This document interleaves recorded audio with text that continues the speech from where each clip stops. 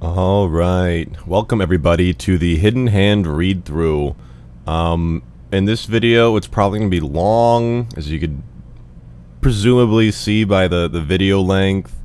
Uh, we're gonna be looking at the Hidden Hand AMA, and this is a very interesting, just an interesting thing that exists in having come across it and having like processed all the information, not really believing it, not really not believing it.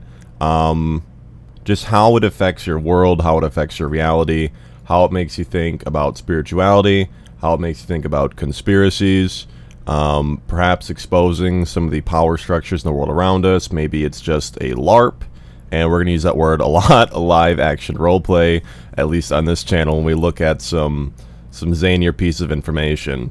Um, but I, I, believe this is found on like an Illuminati forum. That sounds right. Um, let me read this.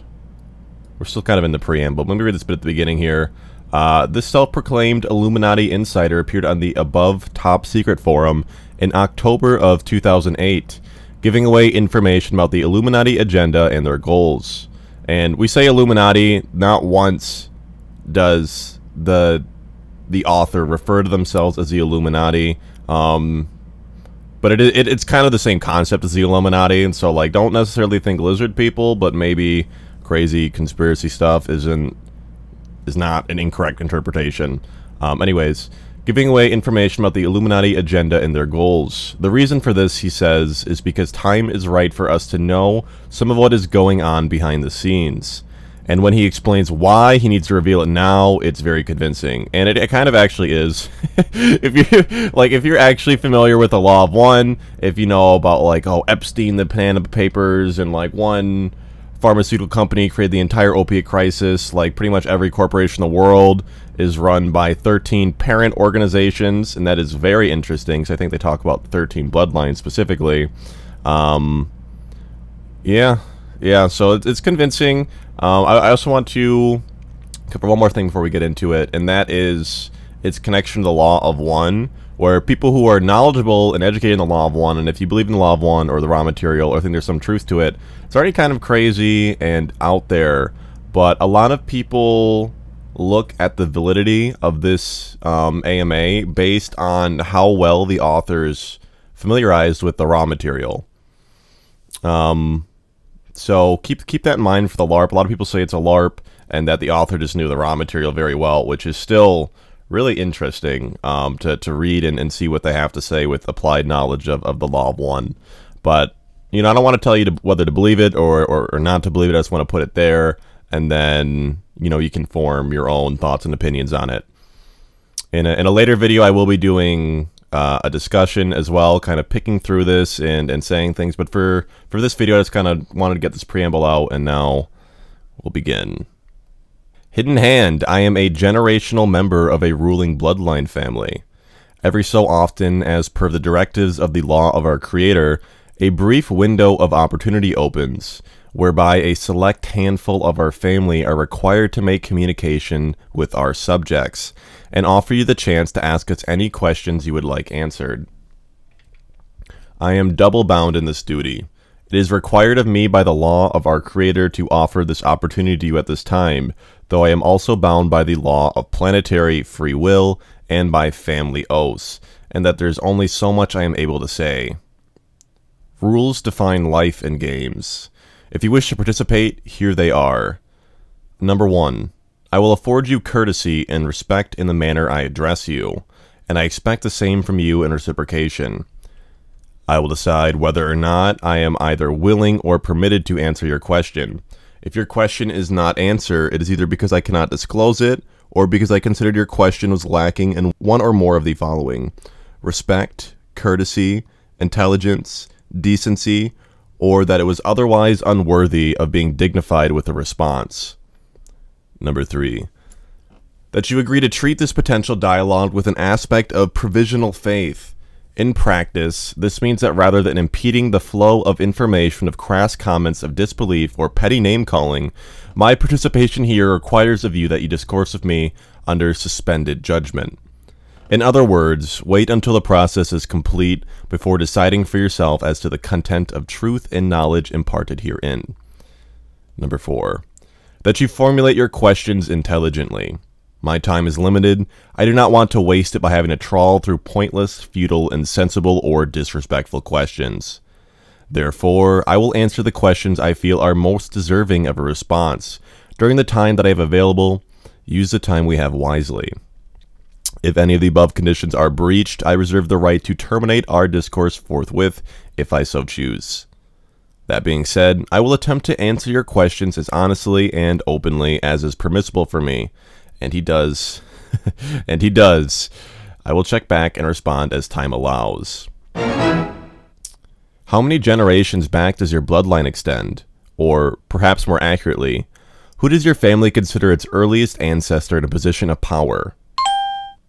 Our lineage can be traced back beyond antiquity. From the earliest times of recorded history and beyond, our family has been directing the play from behind the scenes in one way or another.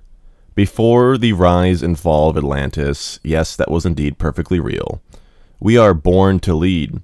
It is a part of the design for the current paradigm. To what extent has selective breeding been used to preserve the purity of the line, and what becomes of children of unapproved unions?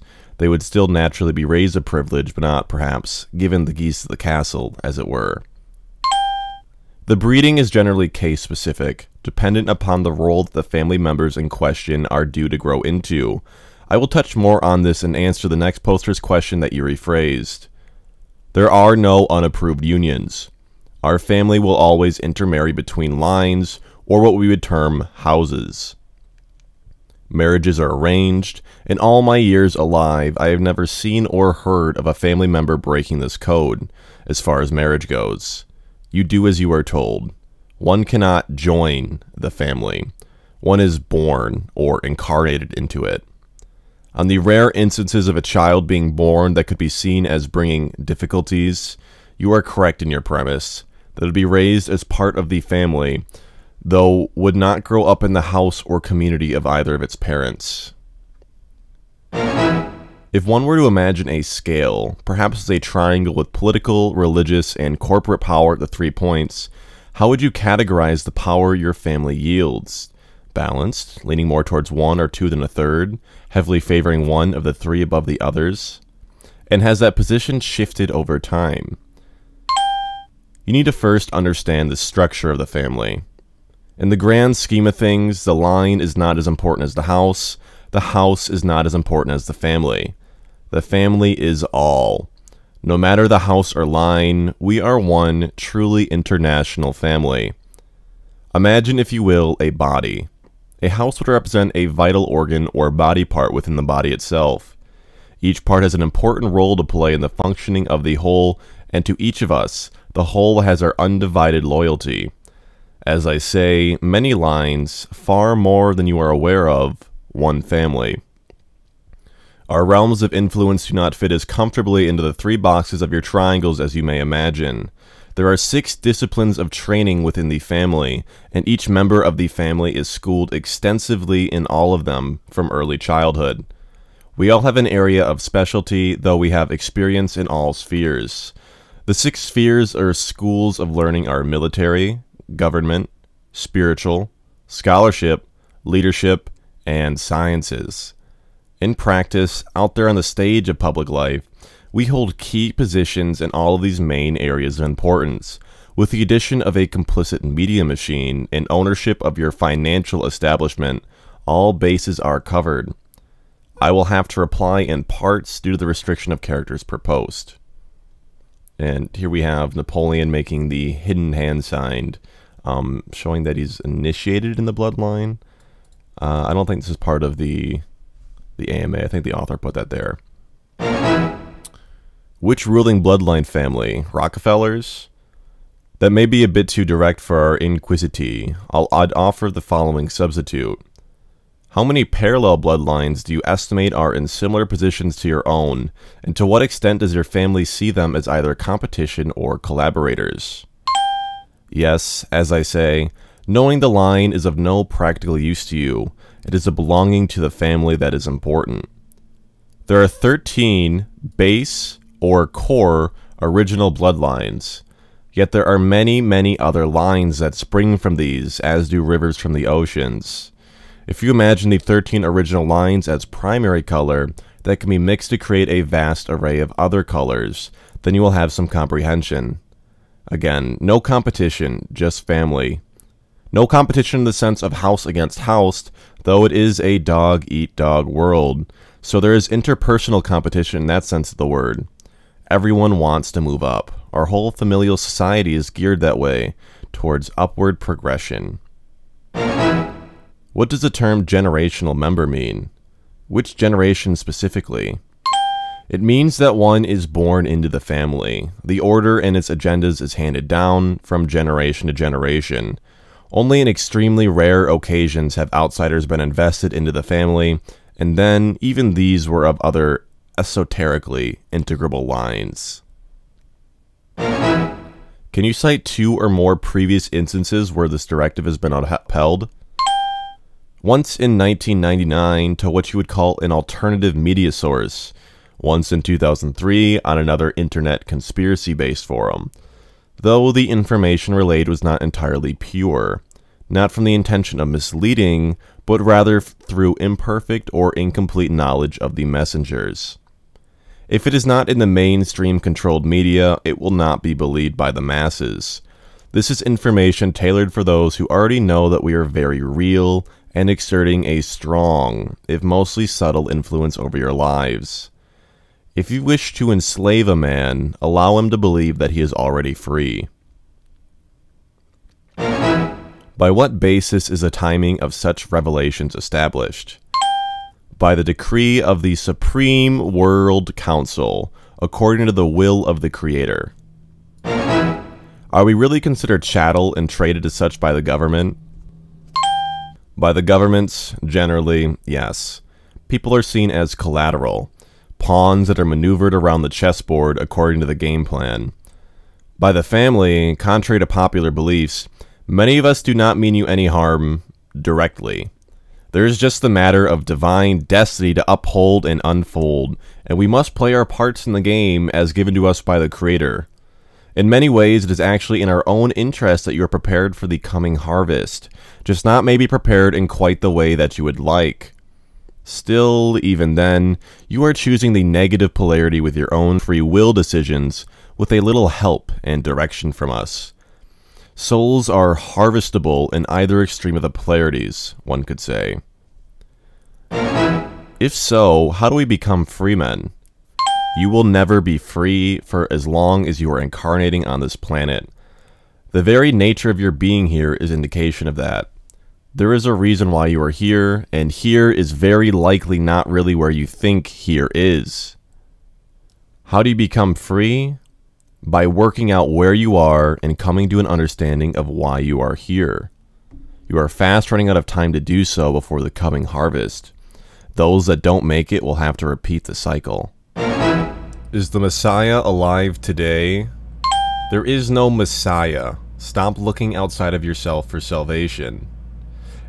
Is there what you might call a Christ consciousness alive? Then yes, in a manner of speaking, though not in your third dimensional awareness. Is it the end times as described in the Book of Revelations? Yes, not just described in the Book of Revelations, but also in the prophecies of virtually every religion, spiritual philosophy, and mystery tradition throughout history. This time is now at hand.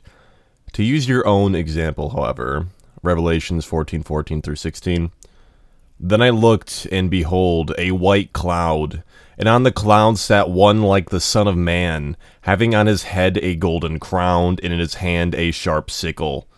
And another angel came out of the temple, crying with a loud voice to him, who sat in the cloud, Thrust in your sickle and reap, for the time has come for you to reap, for the harvest of the earth is ripe. So he who sat on the cloud thrust in his sickle on the earth, and the earth was reaped. The earth is indeed ripe for harvest. The question is, who will be ready, and will the harvest be positive or negative?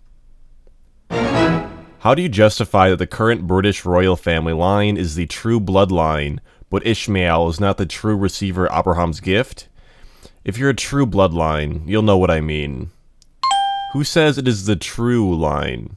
There were ruling bloodlines long before your Yahweh and his Christianity arrived on this planet.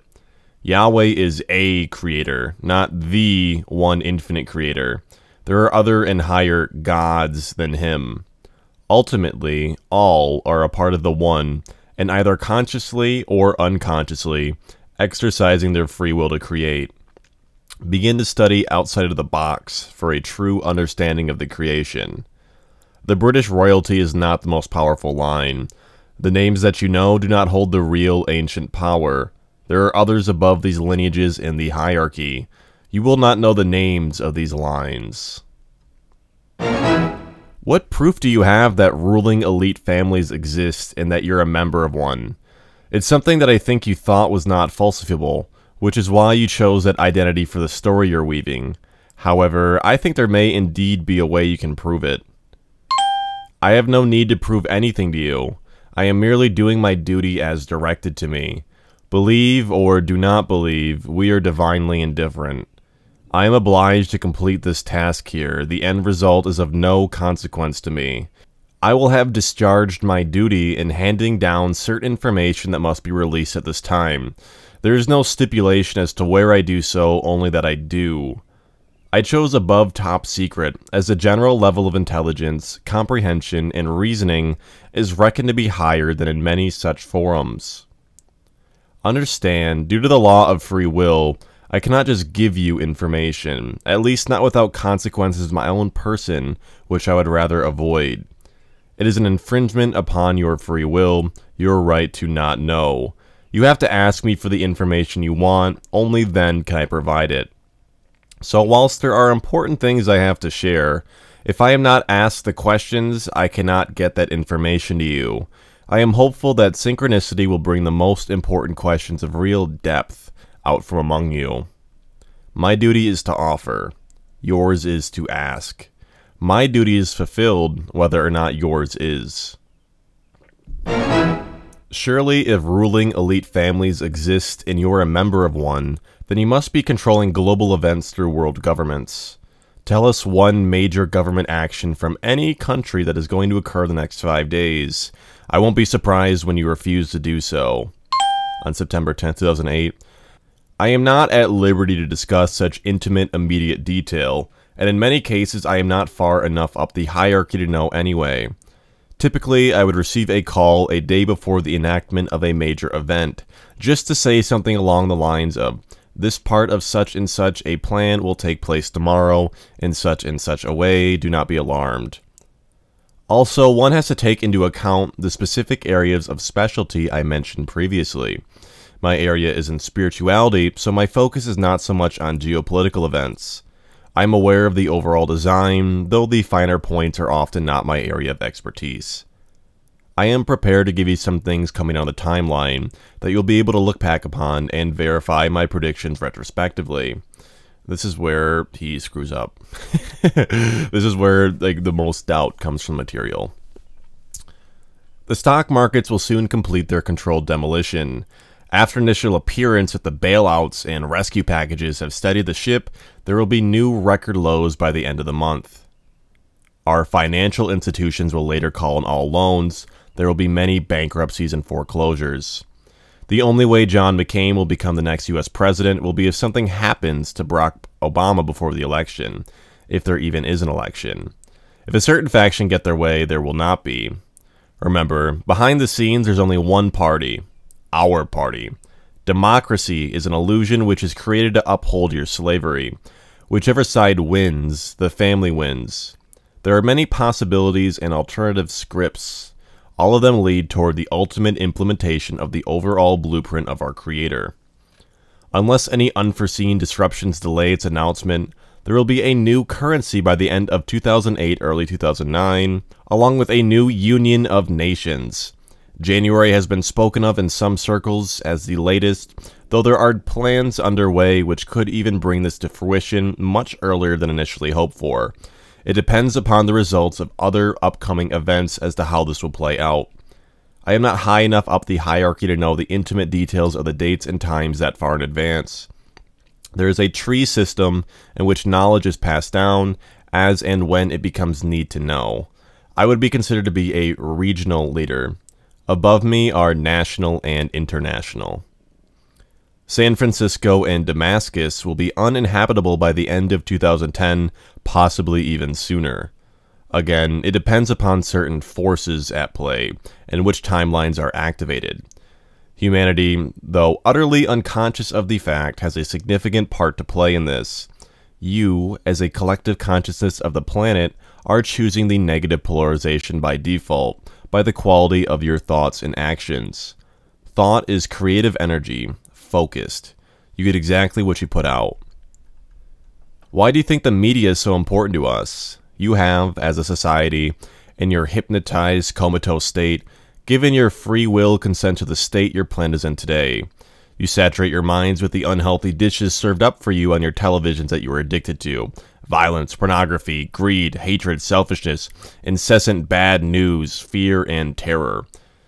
When was the last time you stopped to think of something beautiful and pure?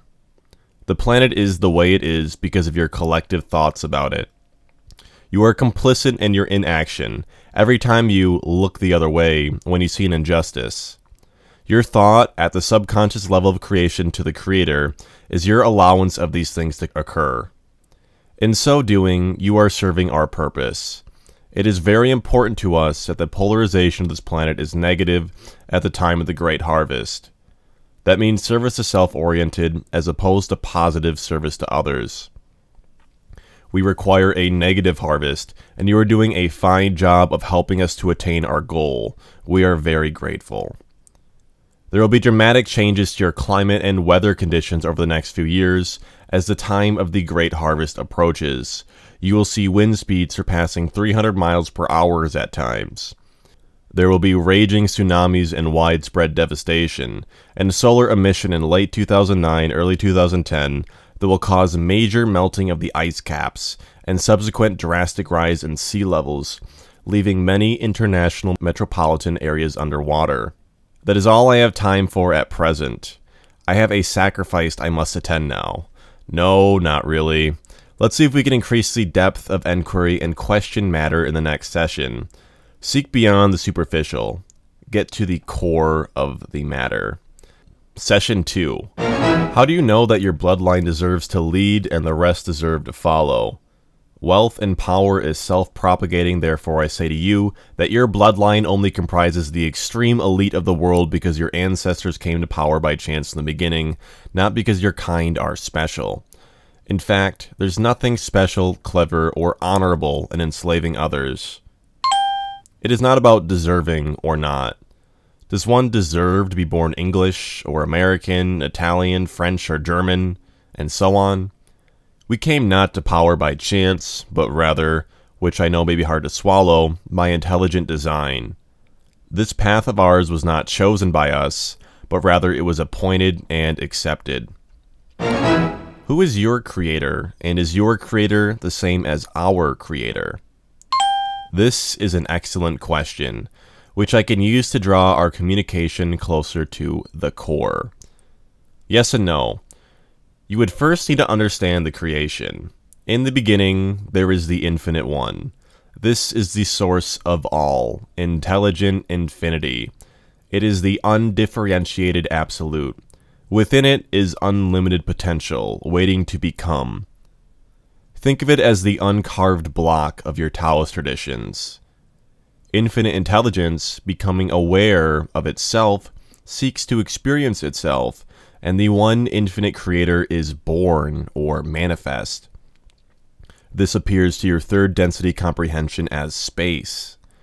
In effect, the creator is a point of focused infinite consciousness or awareness into infinite intelligent energy. The one infinite creator also becomes self aware, seeks to experience itself as creator, and in so doing begins the next step down in the creational spiral the one infinite creator in focusing its infinite intelligence becomes intelligent energy, which you could call the great central sun, and divides itself into smaller portions of itself that can then in turn experience themselves as creators or central suns. In other words, each central sun or creator is a step down in conscious awareness, or distortion, from the original thought of creation. So, in the beginning was not the Word, but thought. The Word is thought expressed and made manifest as Creator. There is unity. Unity is all there is. Infinite intelligence and infinite energy, the two are one and within them is the potential for all creation. This state of consciousness could be termed as being. Infinite intelligence does not recognize its potential. It is the undifferentiated absolute. But infinite energy recognizes the potential of becoming all things in order to bring any desired experience into being. Intelligent infinity can be likened to the central heartbeat of life and infinite energy as the spiritual lifeblood or potential which pumps out for the creator to form the creation. This image may assist your comprehension. Creation is based upon the three primary distortions of the Infinite One. Number 1. Free will. In the first law or distortion of creation, the creator receives the free will to know and experience itself as an individuated, though paradoxically unified aspect of the One. Number 2. Love. In the second law of creation, the initial distortion of free will becomes a focus point of awareness known as logos, or love, or the word in biblical terms.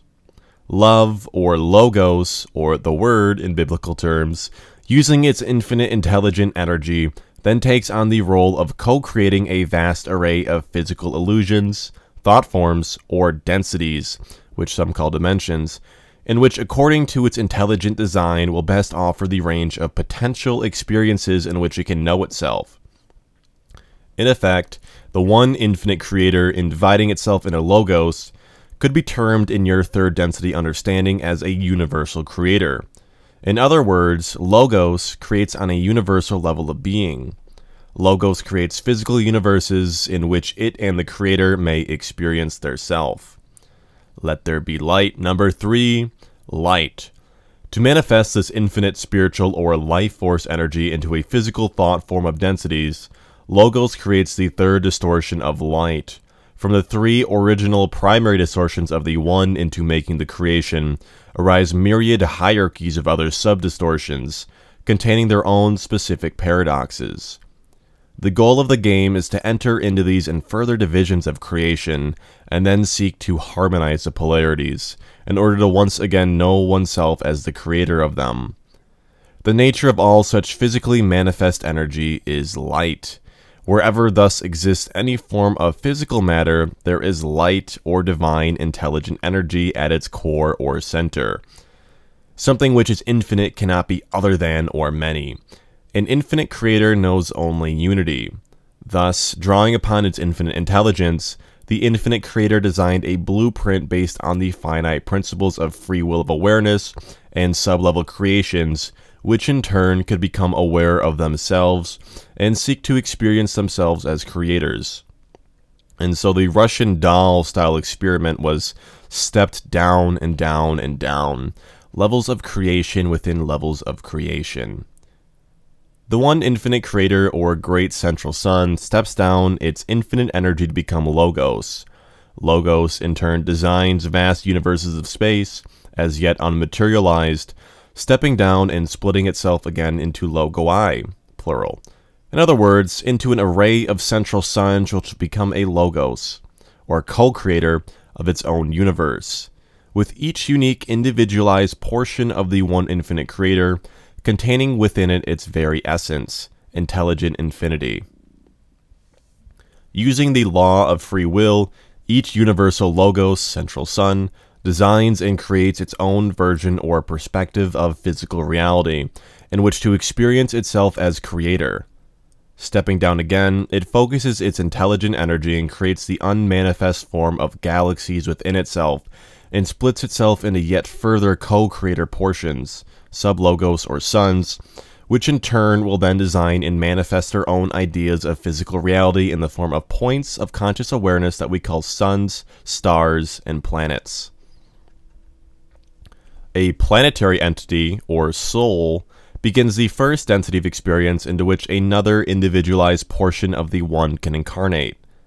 Just as with all logos and sublogos of creation, each soul is yet another smaller unique portion of the infinite one. At first, the intelligent energy of the planet is in a state that you would call chaos, meaning that its energy is undefined. Then the process begins again.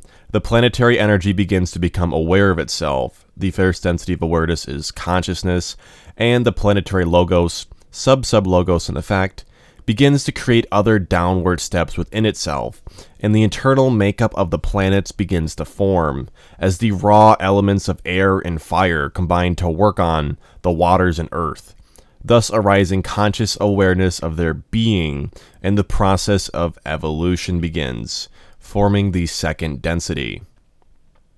Second density beings begin to become aware of themselves as being separate and thus begin to evolve towards the third density of self conscious awareness, the lowest density into which a human soul can incarnate. Humans, in turn, or the souls incarnated within them, seek to return to the light and love from which they came, as they begin the journey of progression from third density up to the eighth density, and the return to the infinite oneness. Explanation of the densities beyond normal human consciousness is another question, though. So if you wish to know more about them, someone will need to ask an intelligent question which I can respond to, so as not to impinge upon your free will not to know. So having set forth the above, I can return to further elucidate on your original question. Who is your creator, and is your creator the same as our creator? As I said, yes and no. Ultimately, every living thing, and all things are living, is created by the one infinite creator's initial universal creation. So yes, taken from that perspective, the one infinite creator focuses its infinite intelligence into an awareness point of infinite energy, and brings the whole of creation into being. Though we are not directly created by the one infinite creator, but rather by our own logos, sublogos, and sub-sublogos, and so on. So, from that perspective, whilst we are all essentially made up of the same stuff of creation, initiated by the one infinite creator, our actual personal creators are different portions or sub-logos of the one. In other words, yes, our creator, whilst originating from the same source, is not the same entity as your creator. Which brings me on to a question from another poster. I will continue with your other questions afterwards, but this enables me to indirectly answer the first aspect of your question without having to ask you to rephrase it, due to having to carefully dance around the free will issues. You say that you come from 13 original bloodlines, yet the DNA mapping project clearly proved that all humanity descended from only three. Does this mean you aren't human? An excellent question, thank you. Yes, that is correct in a manner of speaking. If you were to meet me walking down the street, I would appear just as human as you do. We've been incarnating here with you for generations, yet our bloodlines do not originate from this planet. Your answer to the six disciplines of learning are quite similar to a book about Atlantis that was supposed to have been channeled. Was this also a time for your bloodlines to post answers? Yes, that is correct. Again, in a manner of speaking. Other, shall we say, off world entities also visited the planet at that time and passed down their own understandings of creation as well as their technology, from what we could best describe as being a future aspect of yourselves. It was humanity's errors in handling this information that ultimately led to the destruction of Atlantis. Having now answered a question on whether or not our lineage is of human origin, I can return to tie in that answer with an explanation as to who is our creator.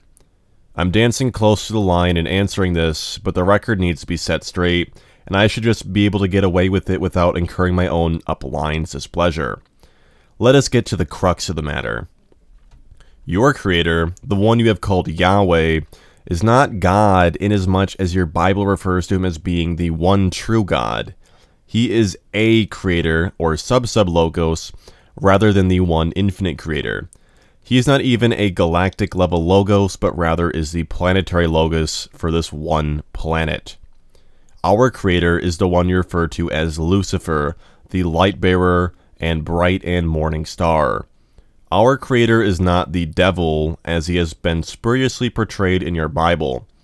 Lucifer is what you would call a group soul or social memory complex, which has evolved to the level of the sixth density, which in effect means that he, or more accurately we, has evolved to a level sufficient that he, we, has attained a status equal or arguably greater than that of Yahweh. We've evolved higher than him. In appearance, were you to gaze upon Lucifer's fullest expression of our being, the appearance would be that of a sun or a bright star. Or when stepping down into a third density vibration, we would appear as what you may term an angel or light being. Allow me to elucidate. When an entity group soul complex evolves to the level of the sixth density, it is by comparison to the amount of time it takes to get that far, a mere hop, skip, and a jump from 8th density ultimate reunion with the one infinite creator, and then from there, back to dissolution into the source of all, intelligent infinity. We, our bloodline families, as a group soul or social memory complex, Lucifer, were on the verge of 7th density ascension, though at this level before harvest comes, we have the choice to progress higher or to return to help others of lower densities with their own evolution by passing down our knowledge and wisdom, light, to those that call upon us for assistance with their own free will. Now, at this time, having made our decision to stay and help our galactic brothers and sisters in the One, we were assigned a challenging task by the Council of Elders, who act as the guardians of this galaxy from their 8th density headquarters on the planet Saturn. Yahweh, due to the fact that he had not, as was his right as planetary logos, handed down his own free will to know thyself to those incarnating upon his planet, was having very little evolutionary progress therein. So we, Lucifer, were sent to help. Once the order was given from the Council of Elders, we fell, or descended back to a place where we could, with hard work and focus, once again materialize a third density manifestation of ourself. Yahweh had agreed to our coming. In fact, it was he who had initially asked the council for a catalyst of change to enter into his creation and share the knowledge and wisdom we had attained through our ascensions.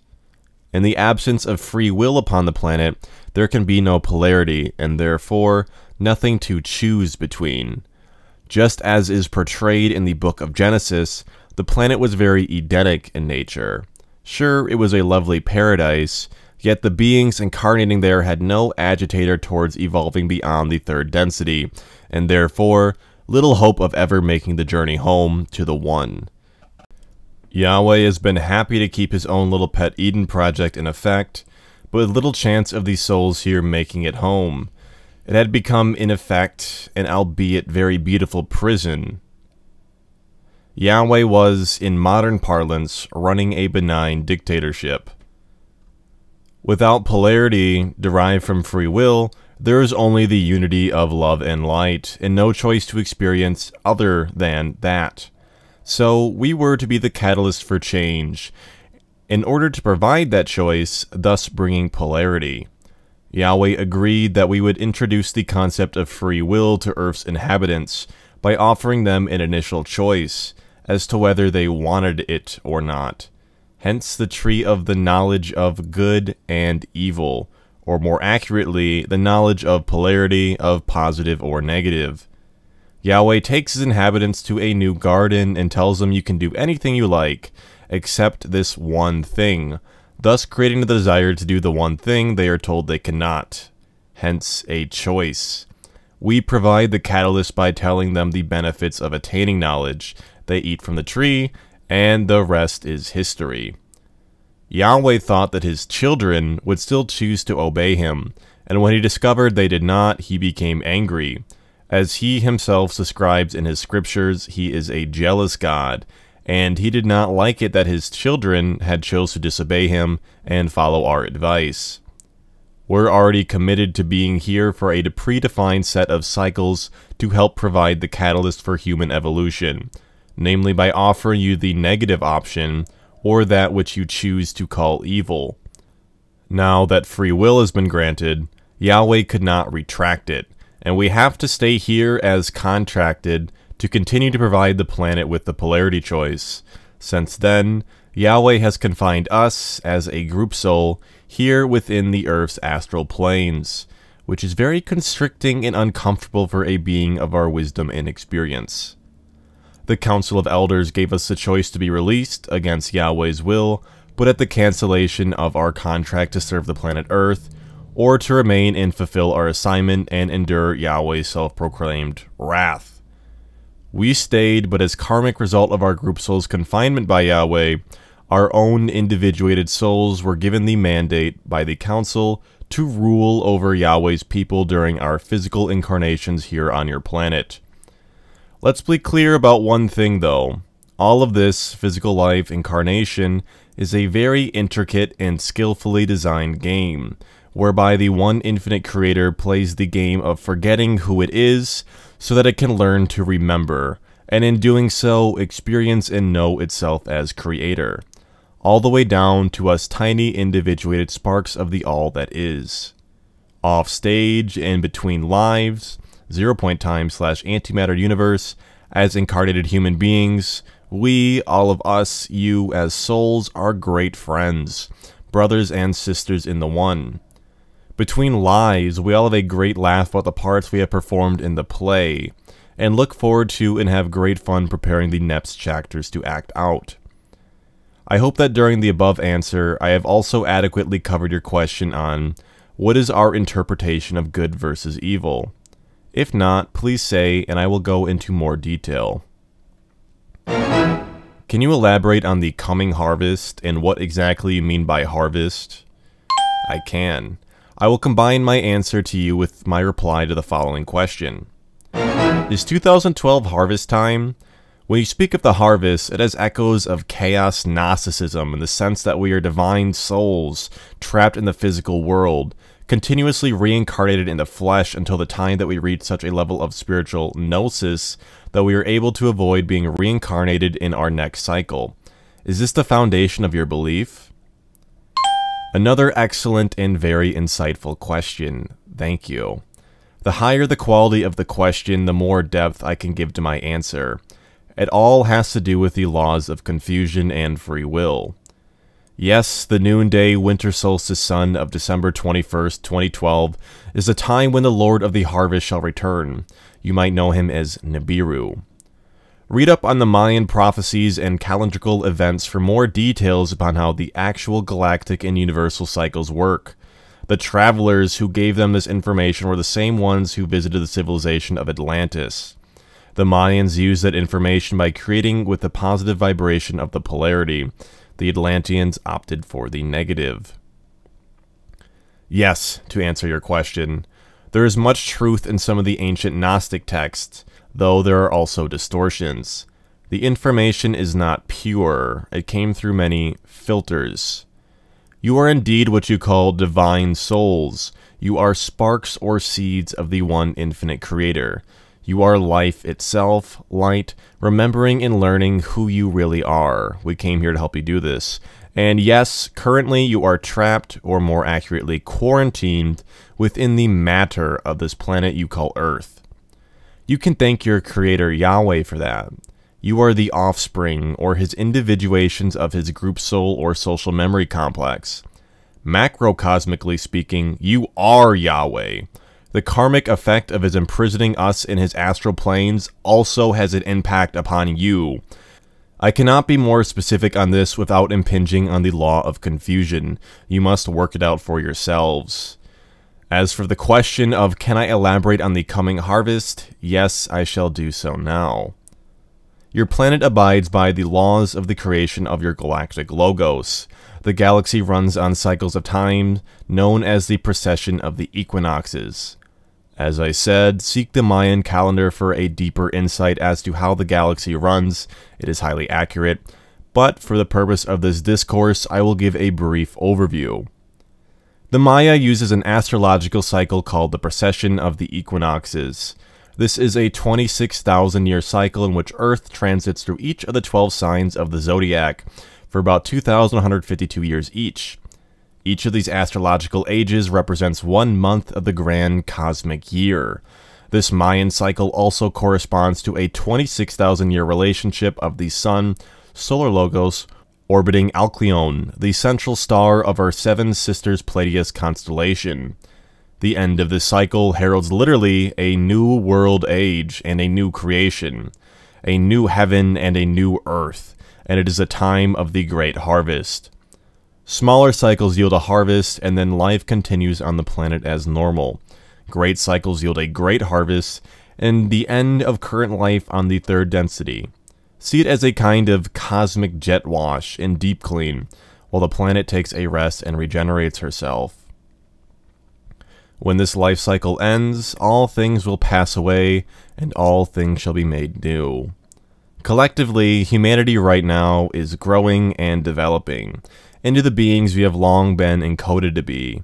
Yet, as with any labor, it is not the mother or the baby who is in charge, it is the primal process of birth itself, unfolding its own destiny. So December 21st, 2012 AD is not the day where all of a sudden the lights go out and everything will suddenly change. Rather, we are now in the process of this transition from one world age to the next. The changes are underway and will continue steadily accelerating as we head towards the culminating date. The 26,000 year cycle is composed of five lesser cycles, each of which are 5,125 years in duration. Each of these five cycles is considered its own world age or creation cycle. Our present great cycle, 3113 BC to 2012 AD, is called the Age of the Fifth Sun. This fifth age is the synthesis of the previous four. The initial date that Earth entered the fifth world was August 13th, 3113 BC, written in Mayan long count notation as 13.0.0.0.0. To help you understand this notation, 13 equals baktuns, 0 equals katuns, the second 0 tons, the third unals, and the fourth kin. These are the Mayan words for the periods of time.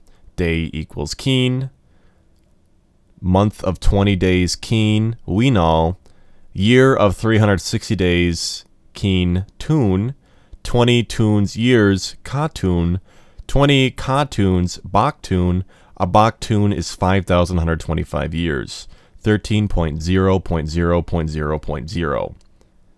Every day from that point is reckoned by the number of days passed since the event of this cosmic beginning point. Within the 5,125 year cycle lies 13 smaller cycles known as the 13 Baktun count, or the long count. Each Baktun cycle lasts for 394 years, or 144,000 days. Each Baktun was its own historical age within the Great Creation Cycle, with a specific destiny for the evolution of those who incarnated in each Baktun. Planet Earth and her inhabitants are currently traveling through the 13th Baktun cycle, the final period of 1618 to 2012 AD. This cycle is known both as the triumph of materialism and the transformation of matter. On 13.0.0.0.0, the December solstice sun will be found in the band of the Milky Way, directly in the position of the dark rift in the galaxy, forming an alignment between the galactic plane and the solstice meridian. We are about to enter into a literal alignment of the cosmic, galactic, solar, and lunar planes. This is an event that has slowly converged over a period of thousands of years and is caused by the precession of the equinoxes, kind of like a turning of the universal gears. It brings about the great harvest and the return of the Lord of the harvest. And the planet will complete its ascension to the fourth density, the vibrational density of love. During this ascension, there will be a three-way split for those souls inhabiting Earth. Those of the predominantly negative polarity will accompany us as we graduate through the negative or service to self harvest. We, Lucifer, will create a new fourth density Earth, based on the negative self-service polarity. We must work off our own part of the negative karmic effects occurred from all the negativity created on this planet. Once we have done so, we will be released to once again assume our place as six density guardians and teachers of wisdom throughout the galaxy. Those of the predominantly positive polarity, love and light, will ascend to a beautiful new fourth density Earth, where you'll begin to work upon your learning and demonstrating of love and compassion. It will be a very beautiful and golden age. The fourth density begins to open you up to your true powers as a unique, individualized aspect of the one infinite creator. You will perform works and wonders of the like that the one you call Jesus promised you would do, and even greater things than these. It will be a very magical time for you. For the majority of humans on the earth who could be considered, shall we say, lukewarm, they will experience a period of what will feel ecstatic, zero point time, where you feel totally at one with the Creator, giving you an encouraging reminder and glimpse of who you really are, before the veil of forgetfulness once again descends upon you, and you will be transported to another third density planet, a kind of Earth replica, to continue working upon yourselves and learning that life here is all about making choices you will remain quarantined incarnated in third density matter until the time of the next harvest, in which time you will need to have proved yourselves that you have learned how to be more positive beings, focused more upon being of service to others rather than seeking only to serve yourself. When you can do this and the next harvest comes, you will have earned the right to join us and enjoy your inheritance as a member of the galactic community and you will sit with us as brothers and sisters of the One, around the table of our galactic governing body, the Confederation of Planets. Well, I have imparted much during the session, with thanks to the quality of your inquiries, and I must now take my leave for today. If you have further questions on the harvest you wish me to speak in more detail on, if you ask, I can answer. Or any other questions you have too on other matters, I will get to them all as time allows. As with the others, respectfully ask questions, here since I took these away of me to reply earlier. If time permits, I will check in with you tomorrow. A lot of what you write seems reminiscent of the Ra material, especially the concept of harvest, service to self, and other choices, and intelligent infinity. Have you read that? It is indeed extremely similar. We both originate from the source of the infinite creator, and we both remember where we come from. I would expect our messages to contain the same core truths.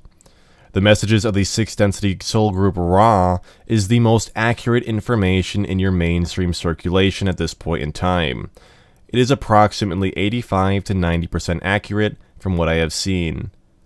The material was brought to my attention when it first came out, something like about 25 years ago or so, if memory serves. I read a lot of it, but not all.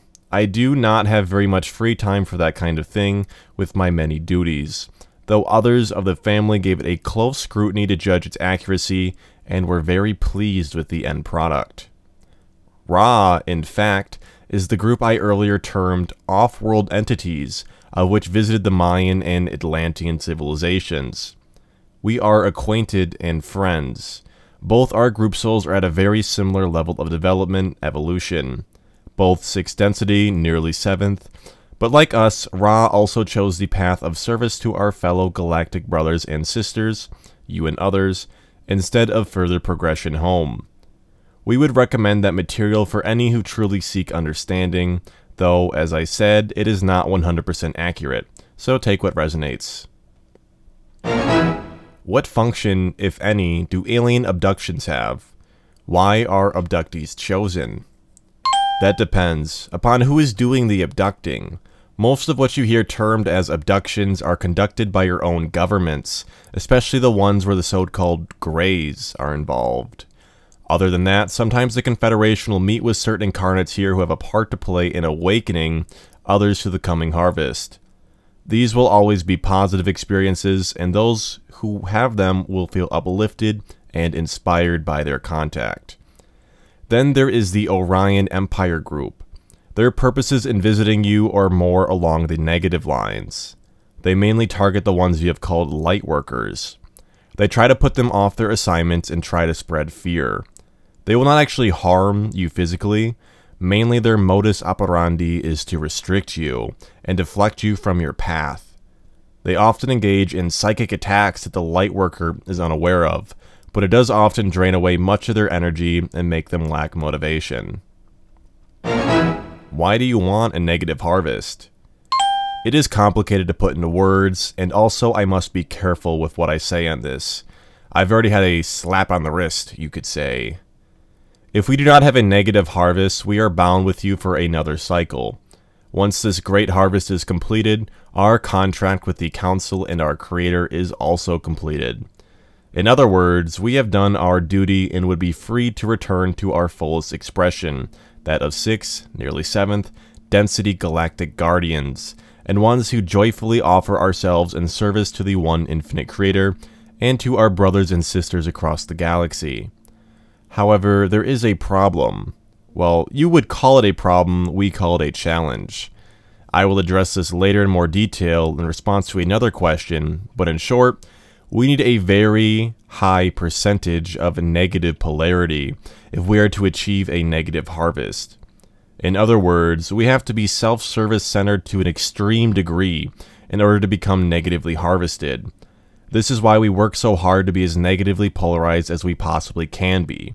If we do not make a high enough percentage, we will miss out and we'll end up with the majority lukewarm percentage that have to go through another cycle in third density.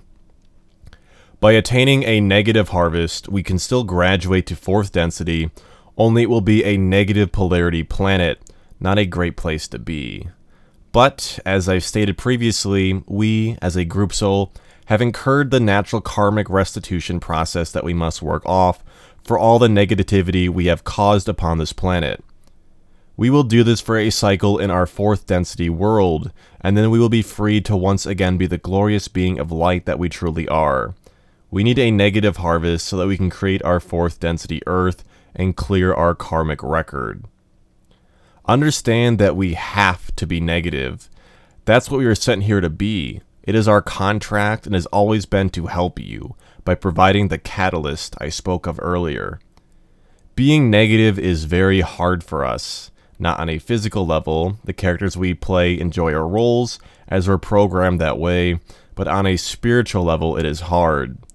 We surpassed the lowly negative vibration aeons ago. We are light and we are love. It is a very hard thing for us to do spiritually, to create all this negativity, but we do it because we love you, and it is for your highest good, ultimately. You could say that it is our sacrifice that we have made in order to be of service to the one infinite creator, and to you, our brothers and sisters in the one. Remember, we are all just acting out a grand old game here, where we agree to forget who we really are, that in the remembering, that we may find each other again, and know that we are one, that all of life is one. I must correct you here. The precession of the equinoxes cannot cause this. It cannot cause anything other than the way in which we here on Earth view the cosmos around us, it concerns the wobble of the Earth's axis, and as far as I know, does not relate to any other planetary bodies. From a third density perspective, you are correct. It appears that way. We do not look from a third density perspective. There is a bigger picture at work that you cannot see. Regarding our enslavement, you seem to be saying, essentially, that as a fraction of our Logos Yahweh, we are equally responsible for his decision to keep us trapped here on our third density planet Earth. That's an interesting thought. In that sense, our total freedom must arrive through a collaborative spiritual effort. From a certain perspective, what you say is correct. From a third density view, you see yourselves as being separate from everything. From a higher perspective, you see that is not at all the case. You and your creator are one. As to your statement on your total freedom, you are not responsible for those around you. You and they are all one too, when seen from a higher density. But in this density, you are here to work upon yourself. You are here to remember who you are and why you are here. You are here to remember the infinite creator, to know your creator within you and to offer your service to him, and others of your own free will choice to serve. the one comes before the other. When you remember who you are and you know it deep within the core of your being, you will know and recognize your invisible connection to all that is, and in so doing, joy and thanksgiving and service will be the natural outpouring result from your grateful heart. When you work upon yourself and learn to know the Creator within you, being of service to others will be natural for you, and your glorious harvest shall await. One thing I don't get, and perhaps you can explain this to me, Hidden Hand, is why those who belong to Lucifer and Lucifer himself do not fight for the freedom of all souls? If Lucifer represents liberty, freedom of will, and knowledge, why do those who serve him not do as the biblical Lucifer did and rebel against the tyranny of the elders? This is a very good question, thank you. I will split it into two parts and answer the second part after this. Firstly, the Council of Elders are the absolute opposite of tyrannical. They are the wise and loving guardians of our galaxy. There is so much that one cannot understand from only a third density perspective. When you reach higher densities, you see that ultimately, everything balances, and there is only unity. All else than unity is illusion or thought form. The Council gave us a set of choices. We chose to stay here to help you despite the cost to ourselves. That is the nature of loving service to others. The ultimate paradox in all this is that in this storyline we are all co-creating together. In order for us to be of the most service to you, we must be utterly self-serving. I do so love our creator's sense of irony. As to the first part of your question, the biblical depiction of war in heaven is not entirely inaccurate. I shall explain. Our initial contract was to introduce the catalyst for free will on this planet. When Yahweh initially began discourse with the Council of Elders, he was not initially looking for help with introducing free will, but rather for guidance on how he could best speed up his and his inhabitants' evolutionary process. As I mentioned, he was running a benign dictatorship. We had, at that time, just completed an assignment in Tau Ceti and reported for our next duties we, as a group soul Lucifer, were sent on a fact finding expedition, as it were, to visit Earth and meet with Yahweh, to evaluate his planetary creation laws and make suggestions on how best he could help his offspring. This is the term I shall use to describe the souls who comprise the group soul, and thusly Yahweh to progress. We explored many options and reported our findings to the Council and to Yahweh. It was our best evaluation that the only real and fast track way to increase his involvement meaningfully was the introduction of free will. It was not specifically the implementation of free will that Yahweh wanted help with, it was simply the introduction of a catalyst. He was not at all pleased with our report that he needed to implement free will. He was happy with his little pet paradise, and he didn't want to lose control of it. In the end, the council persuaded him that it was the best way, and he reluctantly agreed. We returned to Earth and had a cordial meeting with Yahweh, discussing how we could best implement the free will option. Yahweh was adamant that his offspring would choose to be loyal to him anyway, and that they were so contented with their way of life that they would always trust him and do as he said was best. That, he said, was his main reason that free will would not work well as the catalyst. That's why he agreed to the experiment of the Tree of Knowledge. He believed that it would prove him right. When it did not, he became angry, threw his toys out of the prom, and his offspring out of the garden, and laid a big guilt trip on them about how they had broken his trust and disobeyed him. That's not really an honorable way for a Logos to behave, but hey, that's the beauty of free will, I guess. Next problem to occur was that his offspring were so grateful to us for our help that Yahweh became, in his own admission, a jealous God. Then we had the whole you shall have no other gods than me thing. We were not pleased with the situation at all, as a Logos should not be behaving like this with his offspring. They are one, after all. When we attempted to leave the planet to return to the Council, Yahweh prevented our departure. We tried to leave again, and were then thrown down into the astral planes and confined therein. The council ordered us to be released, but said we would have to cancel our contract to help the souls on Earth to evolve. We didn't want to leave. We found them very likable beings, really positively polarized, and we wanted to stay and help. We just wanted also to be free to come and go as we pleased. The only way we could stay was to stay confined as a group soul, which meant cycles of incarnation for us as individuated souls, which we had not done for a long while. As I've stated before, there is no wrong or right seen from a higher density, but there are still consequences for every action. Such is the law of karmic effect. The contract had already been made between Yahweh, us, and the Council for us to provide the catalyst, so we had a right to be there. The karmic effect of Yahweh imprisoning us on the macrocosmic level was that his individuated souls would be imprisoned on the microcosmic level.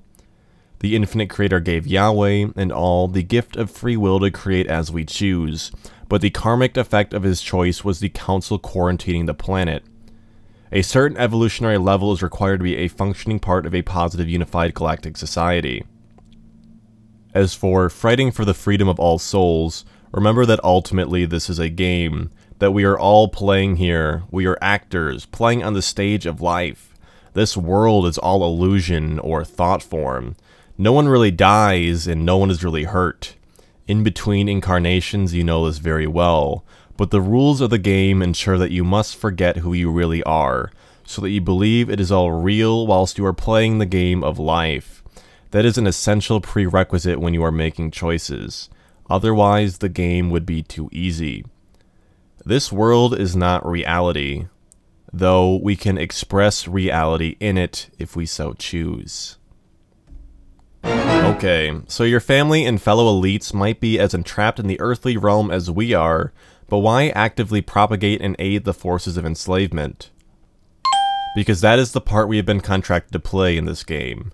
In order to win, or more accurately to be successful in, the game, we must be as negatively polarized as possible.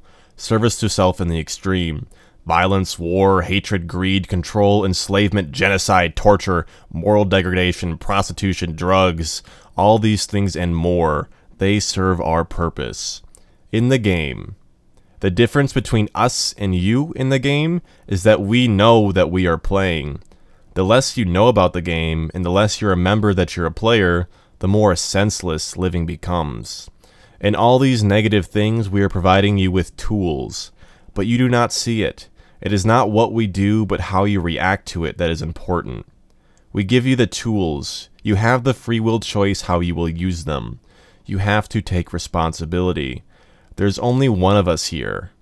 Understand that, and you will understand the game. Something I found extremely interesting is the concept of the Grand Age of Precession being split into five 5,125 year cycles. 3113 BC, the beginning of the current sub-age was a time of great activity.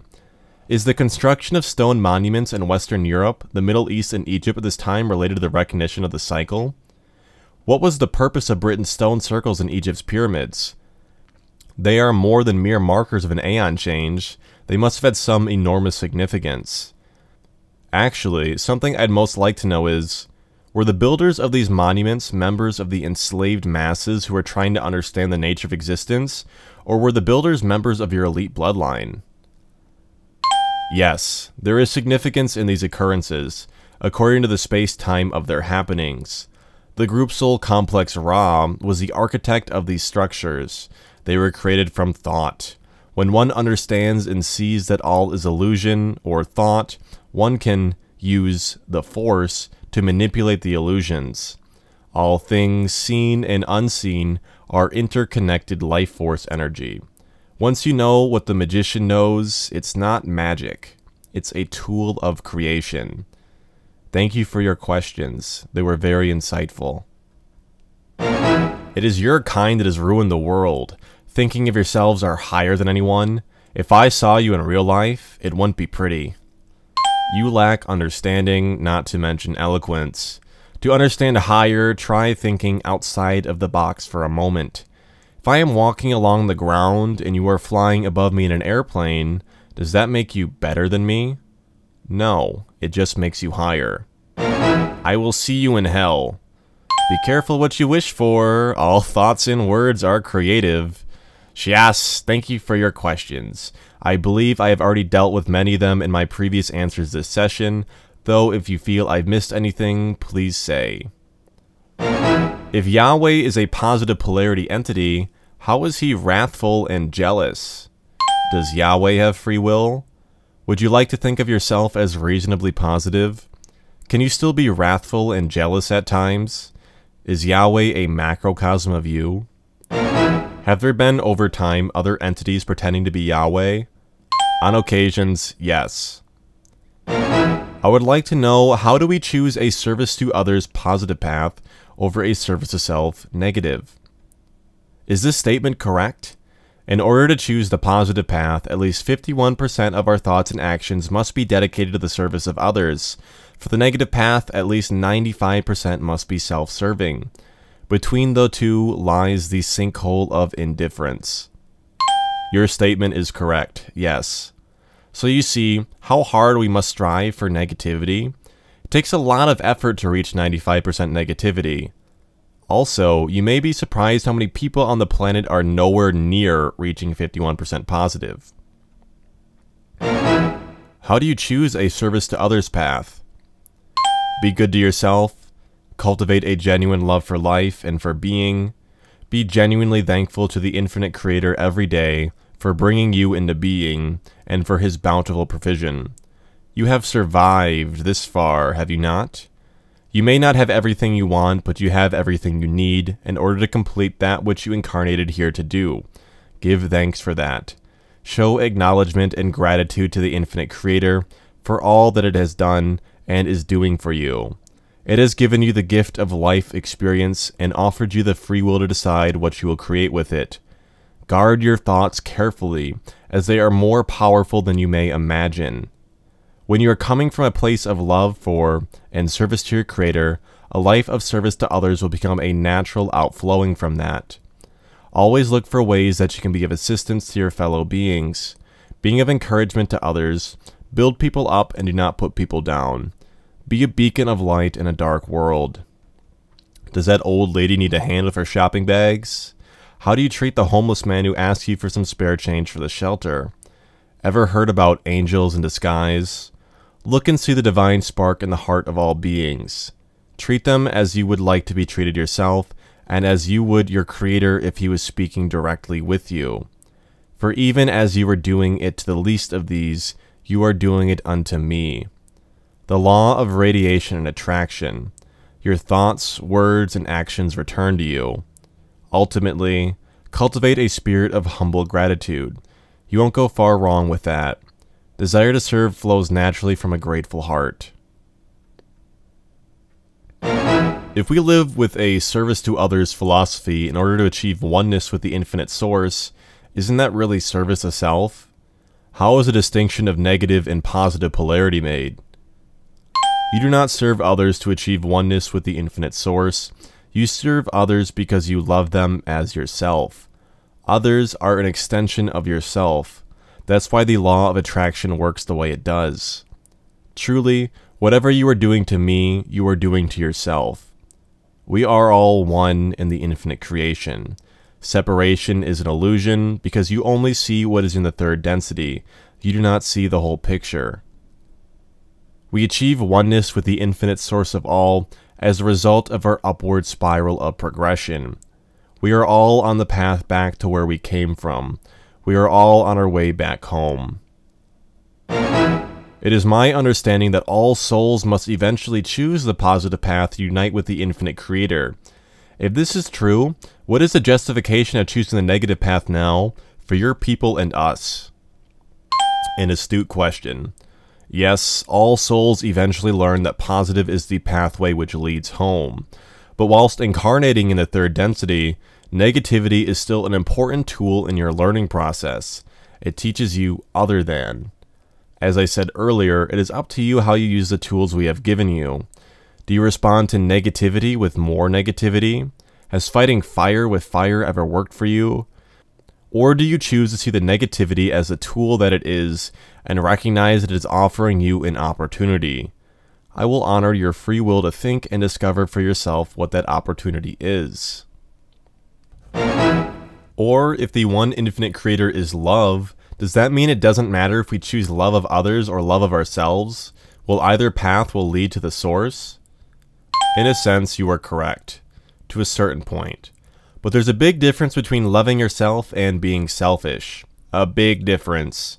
When you truly understand what it is to know and love yourself, you cannot help but to love and serve others. There are no others.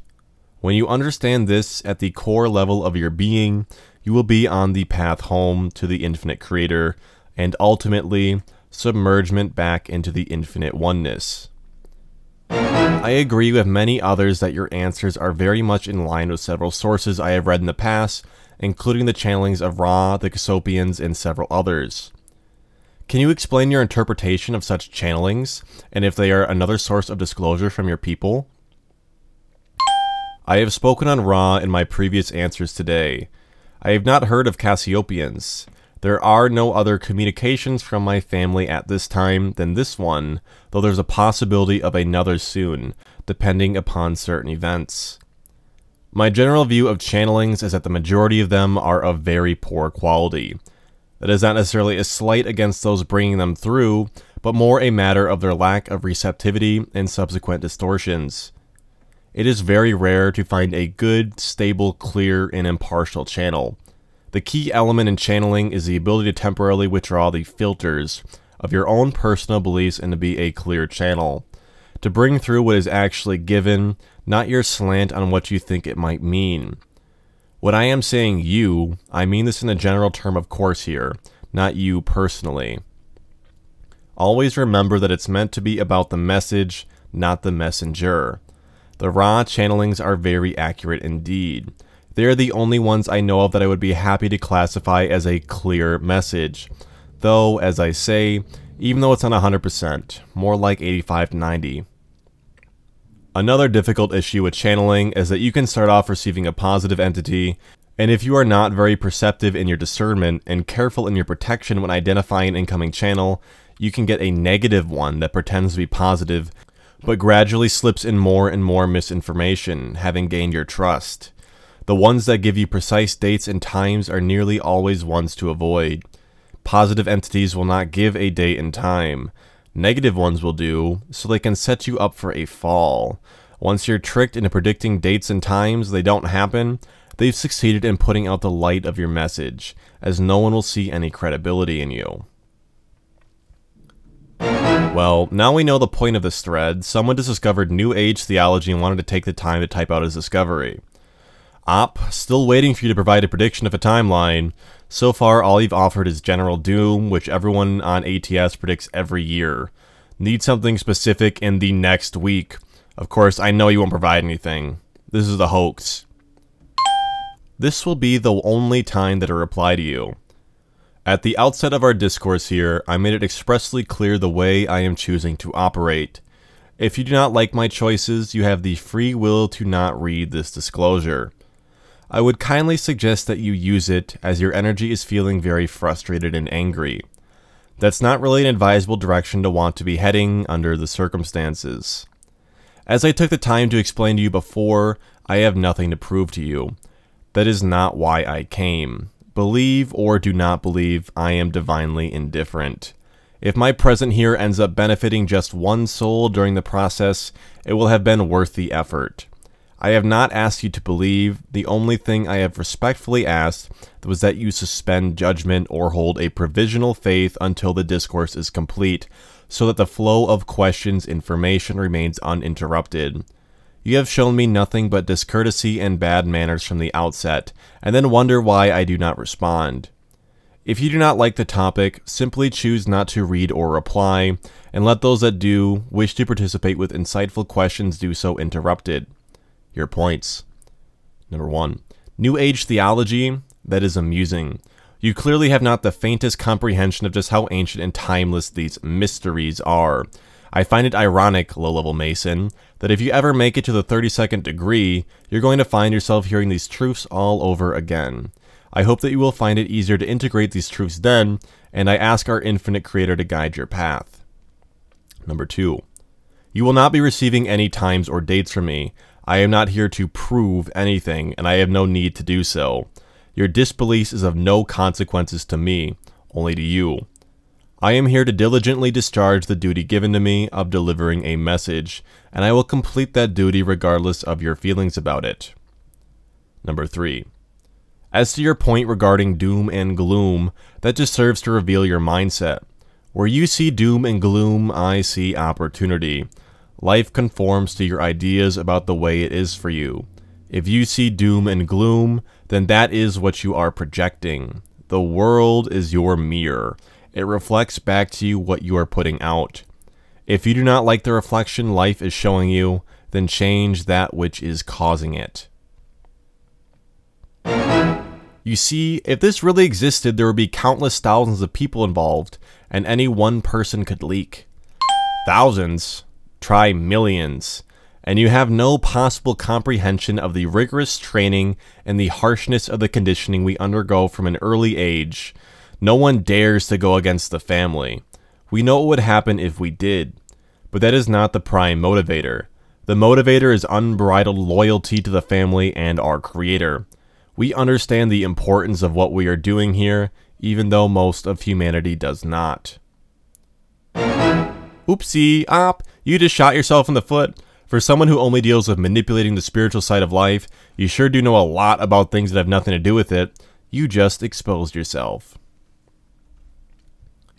Do you not sit down with your family and keep one another abreast of your plans? As to your remarks about my spiritual role, the ignorance you demonstrated is most humorous to us. If you think I only deal in the spiritual, you have either not read or misread my posts. You also make the assumption that my role is about manipulating the spiritual side of life. Again, you lack understanding, and then make false judgments about that which you have no comprehension of. You would do well to stop trying to be clever and instead channel all this misplaced aggressive energy of yours into something more productive and nourishing for your soul. But don't let me stop you. You're contributing nicely to the overall negative polarity of the coming harvest. We are grateful to you.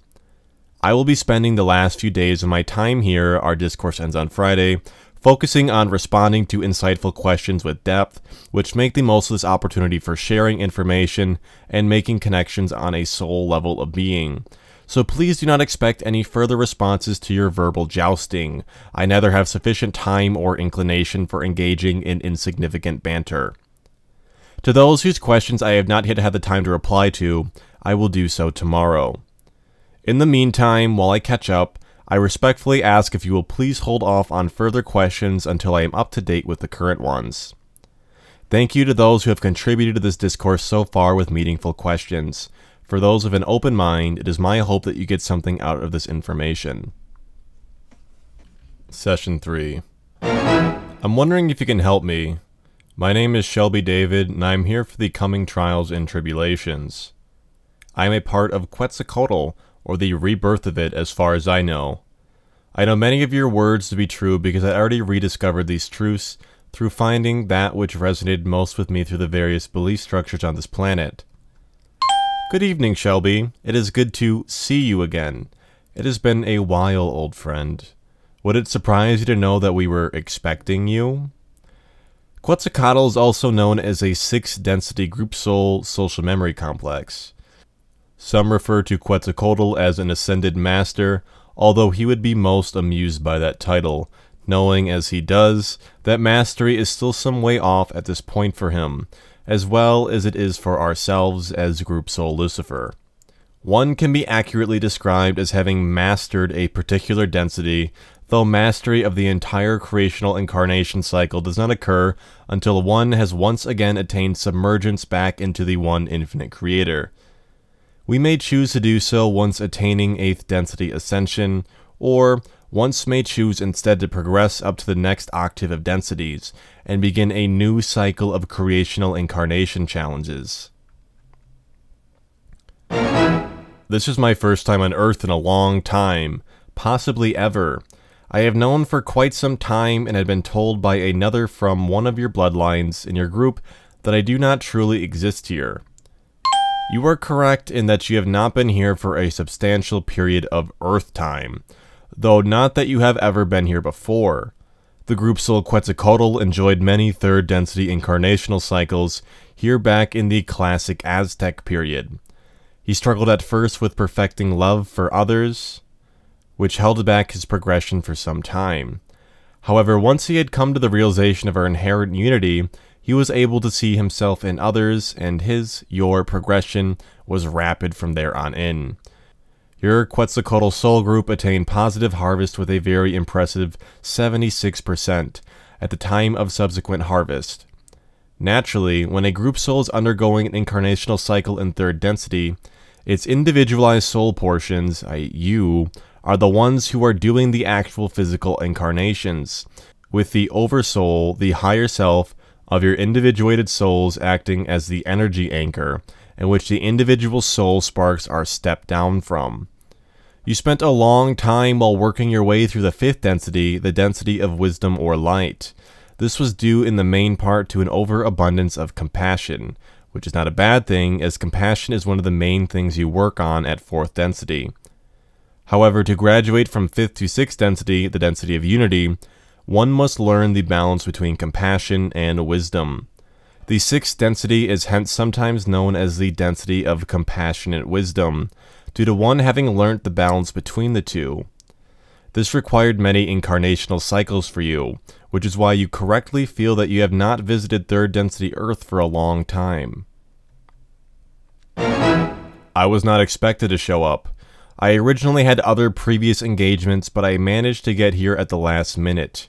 One of the things I have remembered is that I am too under contract. I am a walk-in, if that makes sense to you, so my human family is not like me. I have spent a long time traveling to various densities and helping in the various revolutions there. Your insight serves you well, Shelby. This not only applies to you, but your entire soul group.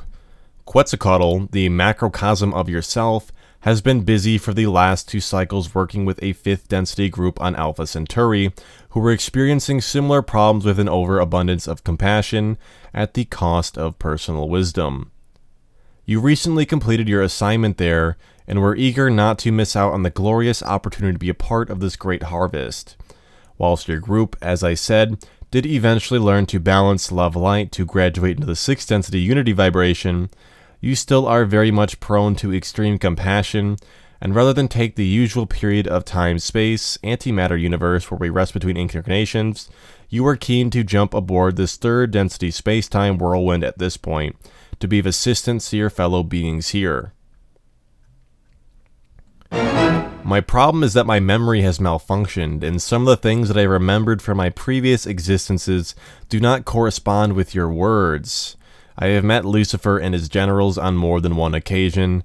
I would appreciate any information you may know of that could clear up my confusion as to why my thoughts are so jumbled, because I know what my path is clearly and I am awaiting the starting point, but I'm not completely clear on what is truly happening here. Thank you for your time. You have indeed met with us, Lucifer, before on many occasions. We have worked together on various Council and Confederation assignments. Use the gift of your Dreamtime communications, which are important communications from your Oversoul and many other sources whereby information is downloaded to plug into your inner databank. Begin recording everything you recall upon awaking, and do not give up on the process, even though it is hard at first you will begin to slowly make sense of the information which is being downloaded into your subconscious mind. When you become proficient at this, you can use your dream time as a method of inner communication. Ask our infinite creator to remind you of your time in the Zeta Reticuli system. You will remember then our last period of service together. I would hope with much fondness. Sadly, my time here is only permitted until Friday. Therefore, we will not likely communicate again after this message. So I wish you the very best with your assignment here, my friend, both your individual one and that of your group soul. I ask that our infinite creator bless and guide your path. We look forward to seeing you on the other side when this grand ride is over. Our love, wisdom, and peace be with you. You mentioned Alcleon. It's interesting there's a celestial map of it at Hoover Dam. There's also a compass framed by signs of the zodiac. Indeed, just like in Hollywood productions, we hide the truth right out in the wide open. What humanity is offered as science fiction more often than not is actual science fact. What do the winged statues commissioned by the US government guarding the entrance of the dam really represent? Is any of this collection of celestial symbolism found there connected to your Luciferian alien equinox transformation agenda? That is actually very simple. You'll note that the feet point directly downward to the earth, and the hands and wingtips point directly up to the sky. The life force energy flows into the human mind body soul complex from the earth up to the feet. The intelligent energy from the infinite creator flows down from above and through the crown chakra. The wings represent our Lucifer's inherent divinity. You'll also know that the figure is seated. The seat of our Lucifer's power connects heaven and earth, and all things must pass through us. Other questions I have, and sorry if you explain this, are these bloodlines the wealthy, as most assume, or seemingly ordinary people, including celebrities and politicians, etc., blending in with society, going relatively unnoticed, but yet contributing to your cause in the grander scheme of things. The names you know have no real power. Sure, they appear to have lots of power in the way earthbound souls perceive power. Our wealth makes a million and billionaire celebs and corporate bigwigs looks like a child's pocket money. Our wealth is family wealth, which is passed down through the generations over thousands of years. True wealth, however, is knowing deep in your heart that you and your infinite creator are one. Seek ye first the kingdom of God, infinite creator, and all these things shall be added unto you. So part of this question could also be, are all of them aware that they are part of this bloodline, or are some members oblivious to this connection they have? Are they informed of this at a particular age? For example, how and at what age were you told you belonged? Yes, if you are a bloodline family, you are born into it, and you are raised this way from birth. There is no other way. I want to be clear on this bloodline issue. The ones you know, they are of earthly lineage. Yes, they have their place in the family, but the real power lines do not originate from this planet. I have probably found this the single most insightful thing so far. It helps me to understand the answers to some of the questions I've asked. I am glad. It is the probably the single most important thing I have shared. Unfortunately, its connotations also alleviate the NWO of most accusations. That depends on your perspective. Does it alleviate the negativity we have perpetuated? No. Does it alleviate the pain and suffering we have caused and are causing upon the planet? No. Does it alleviate that we are closing our endgame scenario and soon to openly come out and offer to publicly save the failing political and financial institutions with our esteemed leadership? No. Does that mean that you should give into and feed the negativity? No. Does it alleviate that we will have to spend a cycle in karmic restitution to balance this lifetime of overt negativity? No. Does it mean that you should use the negativity as the tool that it is to show you that which you are not? Yes.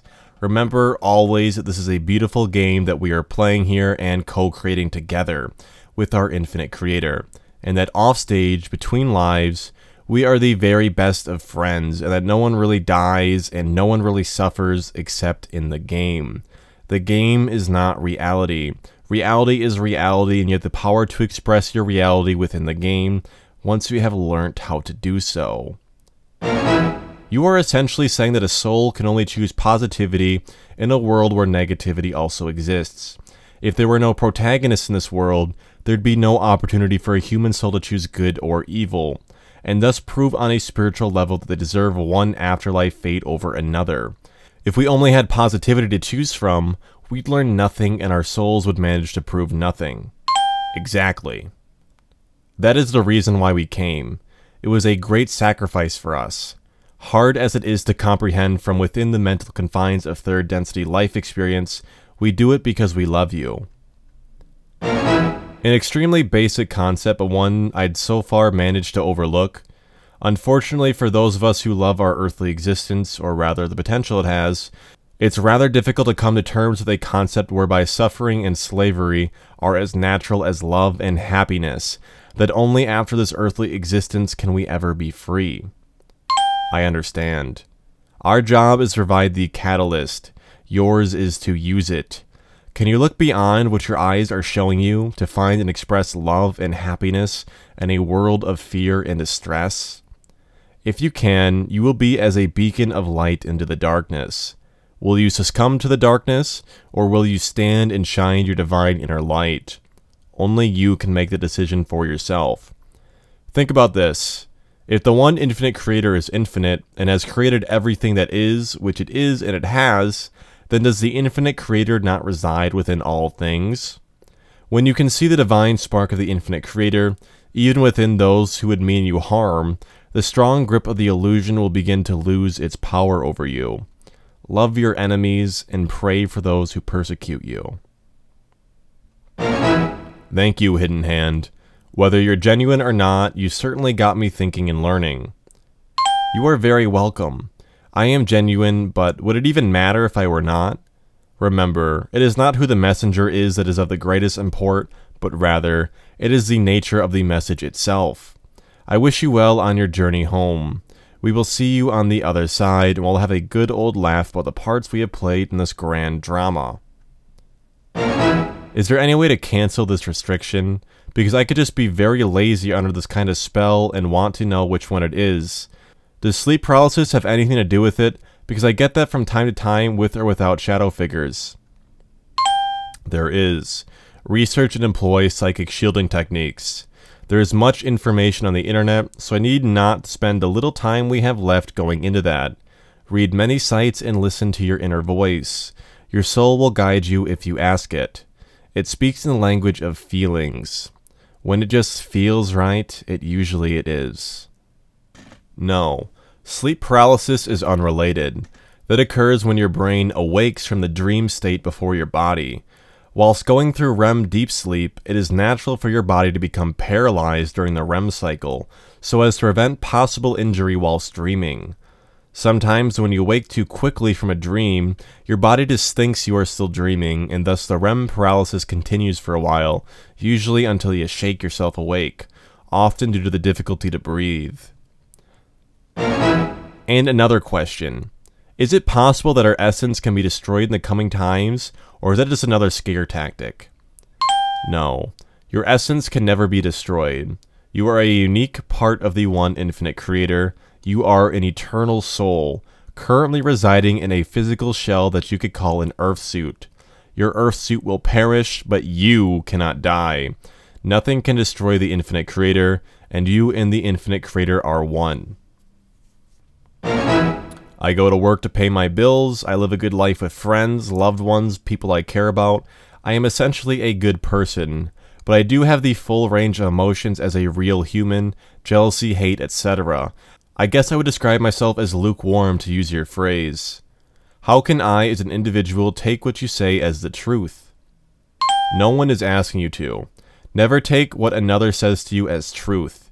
Your purpose here is to find your own truth.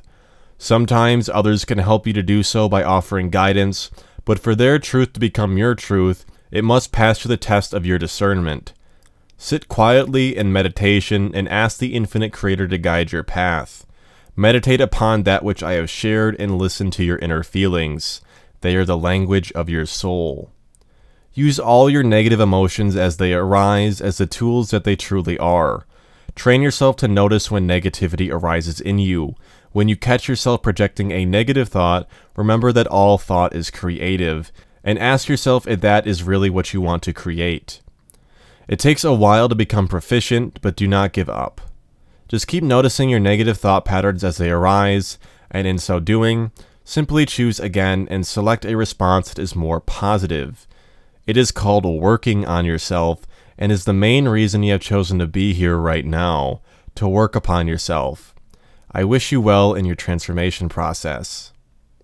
I also read through the above link from the ones calling themselves The Insider, although his her posts were less sophisticated than yours. Was he your predecessor? One of your ilk charged with this disclosure? A good question.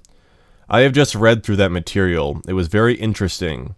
No, not a predecessor of mine, and not a disclosure I was previously aware of, which had it come from my family would be highly strange.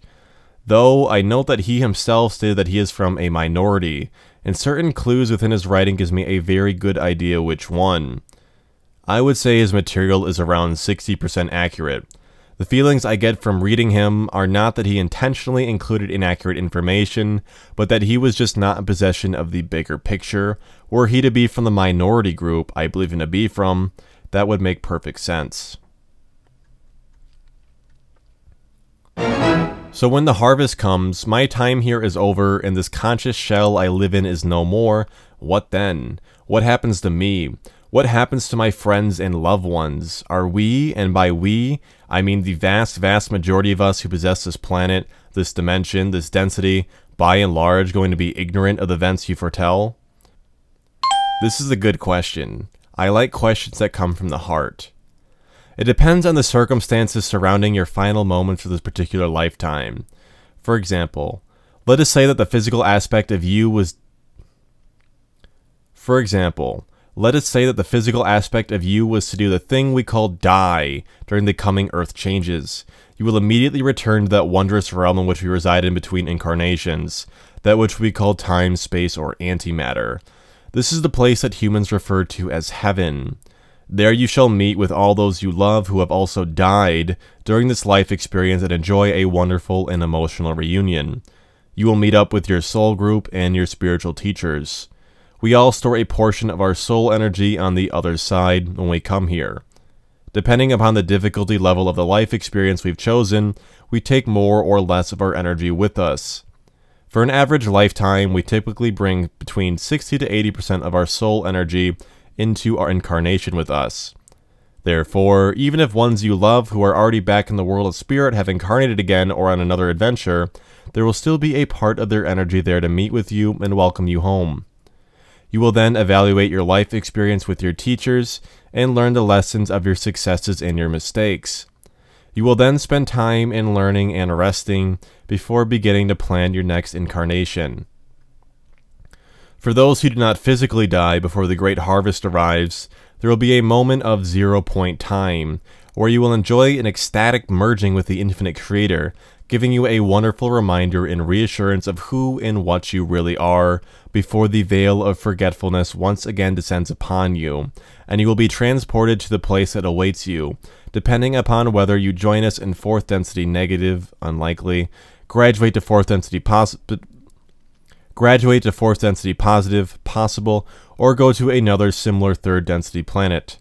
For the lukewarm, to continue in your learning for however many cycles it takes you to graduate to fourth density positive. Those in this category will not remember anything at the time of your transition. It will be just like nothing has changed, except you'll retain the memory of your zero point experience to encourage you. You will not remember the recent experiences of the harvest in this life here, it just be as though you all had some mystical experience and life will continue as normal for you. I find you difficult to believe, and yet you respond and inform in a very sophisticated manner. It is quite intriguing.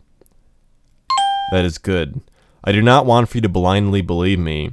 Too many on this planet spend their entire lifetime doing and thinking things because others say that they are true. What I want is that my words become a catalyst for you, that is what we came here to do. If my words cause you, even if just for a short time, to stop for a moment and evaluate that which you think you already know about the nature of life, and take for granted as being true because everyone else believes it, then my time will have been well spent. My desire is that you become an authentic human being, thinking and feeling and deciding for yourself what feels like truth for you. I wish you well in your endeavors. You can't provide one shred of proof that this isn't a hoax even though it would be incredibly easy to do so. Were you who you claim you were? Won't, not can't, big difference. This is not intended to be an object lesson prophecy fulfillment. If you think I thought that it would be blindly believed or even wanted for that to happen, you are very much mistaken. I would be disappointed if that were to be the case, for you will have learned nothing from my time here.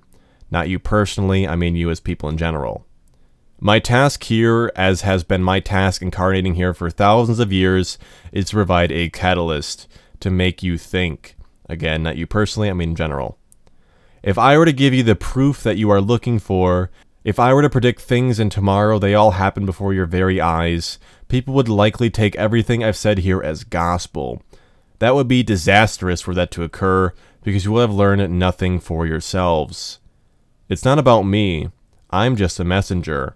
It's all about you, again, generally speaking, and what you do in relation to the catalyst.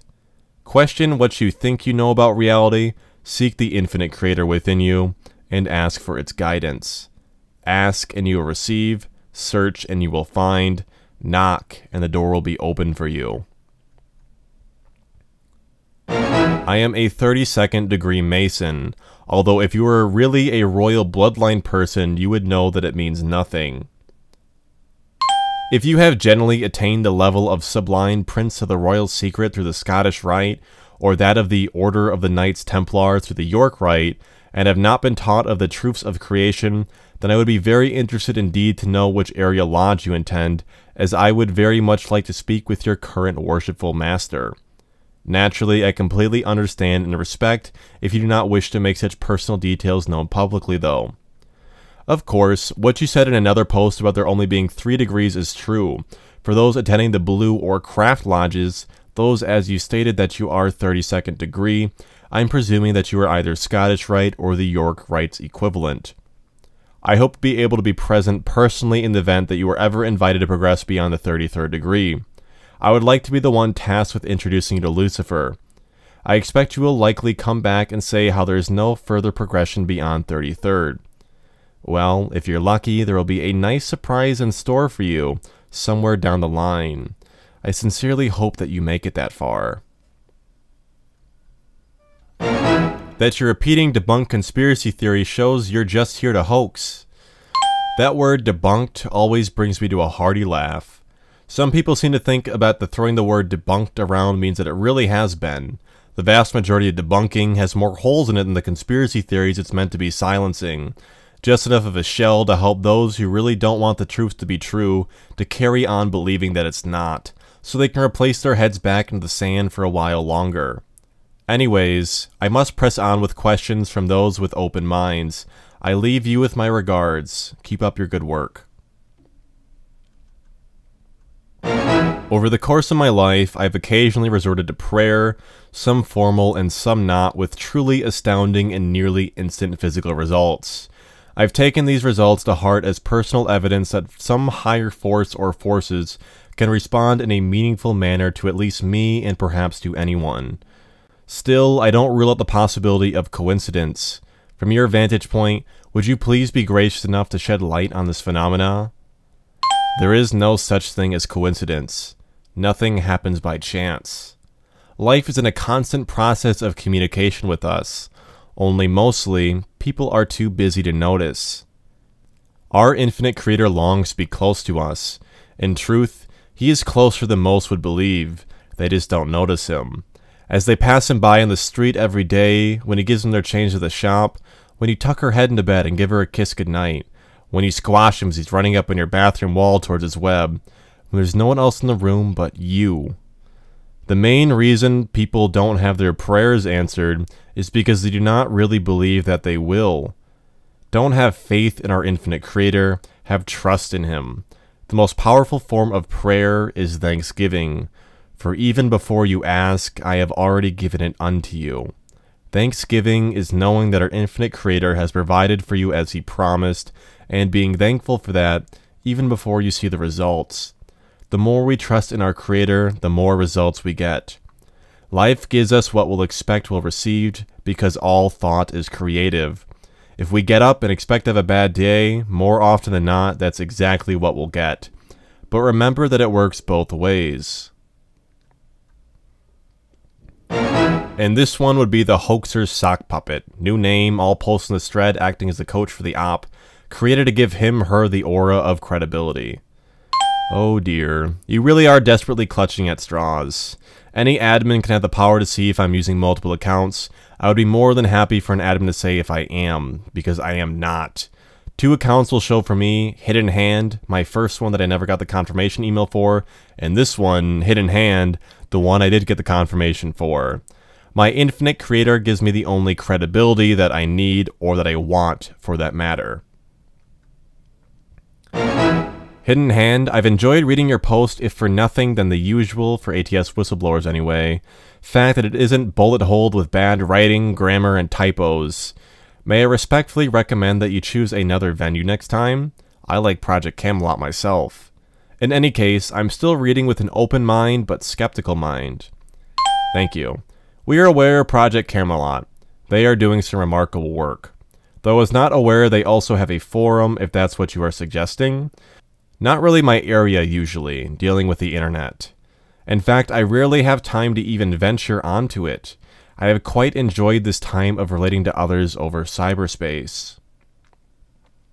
Well, if you're game for an assignment, or maybe someone else if you haven't had the time, I would be happy for someone to collate this topic, minus the interruptions, so that the message appears with just the actual flow of questions and answers, and post it there in one piece if you so desire.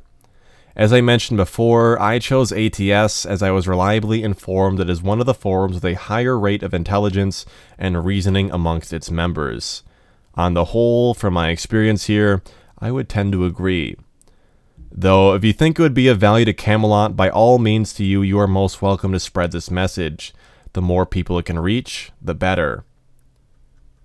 I have very few dreams nowadays, but I had one last night, and it urged me to pose a question to you. I find it amazing that of all the topics the universe has to offer, it offers me this. Nothing by chance, sir. Nothing by chance. Dreams are a key method our souls use to speak with us. The conscious mind is too busy and distracted most of the time to hear what spirit has to say, so it tends to use the subconscious instead. Hidden Hand, I have, for my whole life, searched near and far for answers to questions. When I read your words, I am compelled from within to explore their complete meanings and truthfulness. I am forced to examine them to the fullest, and I am charged with comparing them to the truth within me. That is precisely that way it should be. Again, I would encourage you not to just blindly accept what I say as the truth. It never was my intention that anyone should make such an error in judgment. That is not to say that my words are not true, but that one must weigh them up, meditate upon them, and decide for yourself in the light of your intuition and inner feelings whether or not these words feel true for you. Hidden Hand, my question I pose to you, with the greatest respect and humility, who will you stand before when we are called home? We shall stand as all shall before our infinite Creator, we already know that which awaits us in our coming fourth density negative polarity world. We shall have to experience the negativity of our own creation and know what it feels like. We shall have to work off the karmic effect of our actions. But at the same time, knowing this is a beautiful and intricate game that we are all co-creating here together, we also know that we shall be rewarded with a hearty thank you and job well done for the sacrifice we have made in bringing this negative polarity into your game for you, that you may use it wisely to see that which you are not. Thank you for your questions. We wish you all the very best and ask our infinite creator to bless your path. As you'll be leaving us this Friday, I would be interested in finding verification for other possible sources of information for this knowledge.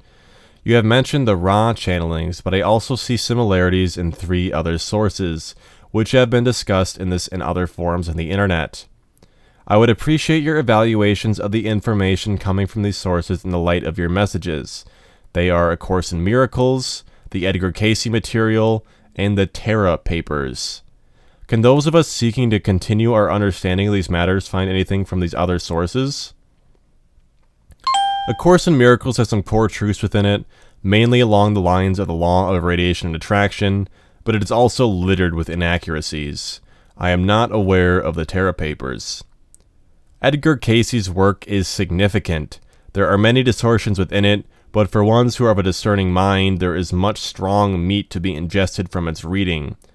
Keep an open mind, but weigh it all up, as you should any philosophy that you allow to enter into the sacred space of your mind, and take the truths that resonate within you. Also, you mentioned two prior contacts, 1999 and 2003.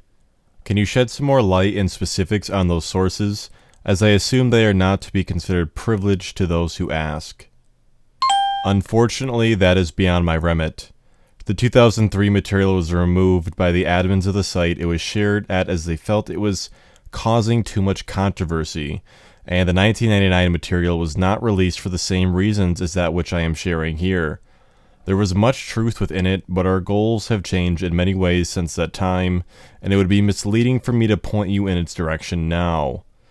In fact, I have been specifically instructed by my own upline not to do so. I am sorry. Thank you for your assistance. Namaste. You are welcome. That is a wonderful word to have ended your communication with. If one would genuinely live by its essence, to recognize and honor the divine spark within each of us, we would be in for a massively positive harvest. Namaste to you too. We ask that our one infinite creator blesses you and guides your path. I wonder if Hidden Hand has read something called the Law of One. I've only picked through it, having just stumbled on it after reading these posts, but it reads remarkably similar to HH responses here. So is this the hoax source, or is that book instead the truth? Maybe HH could respond?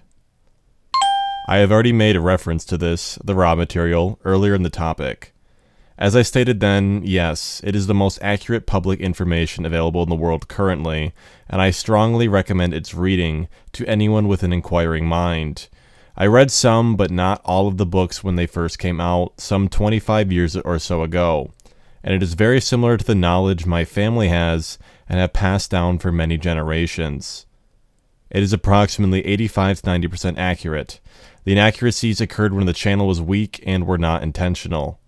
We know Ra, the entity, very well and are happy that they are even now still working here on this planet, behind the scenes, to prepare for the great harvest. I think I'm up to date with your questions now, if I have missed any that are not on unimportant ones, such as what car I drive, for example, then please let me know. We have two sessions left together, and then I must take my leave. We'll look forward to seeing you tomorrow. Session 4 Okay, as I stated, unfortunately my remaining time is shorter than planned. This was unforeseen and unavoidable. I will not have sufficient time to answer all of your questions, so I will for the most part focus my remaining time with you upon responding to those questions that I feel to be from the heart, ones asked by those who are genuinely looking to take something away with them of import from our discourse here together. My second focus will be upon answering other intelligent or insightful questions that can be used to further develop our discourse. I desire to impart as much as I am able with you in the short time we have left. I will also, as far as possible, answer other questions that I feel are important in the grand scheme of things, meaning that even if the question seems to be from someone more intent on finding things to debunk, if that question ultimately still serves a greater purpose, I will do my best to reply. Please bear in mind that in light of the above, many of my answers will need to exercise more brevity than I would ideally like, though this is necessary to respond to as many of you as I can. Without further delay, I shall continue with our discourse. Do you know me? Do you know who I'm? What part do I play in all this? When will I awake? Will I awake? Should I awake? I feel it in me, but I'm afraid to let it out. Help me. Do I know you as the individuated human expression typing to me over cyberspace? No, I do not. What part do you play in all this? What part do you want to play? The choice, as always, is entirely yours. Whether you are consciously aware of it or not, you are co creating the storyline on this planet. My advice would be to do so consciously.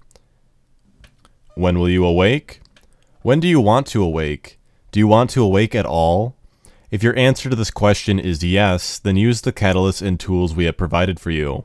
I have made many subtle, but not so subtle, and even overtly blatant statements within this topic as to how you may choose to do this. I feel it in me, but I'm afraid to let it out. Help me. Why are you afraid?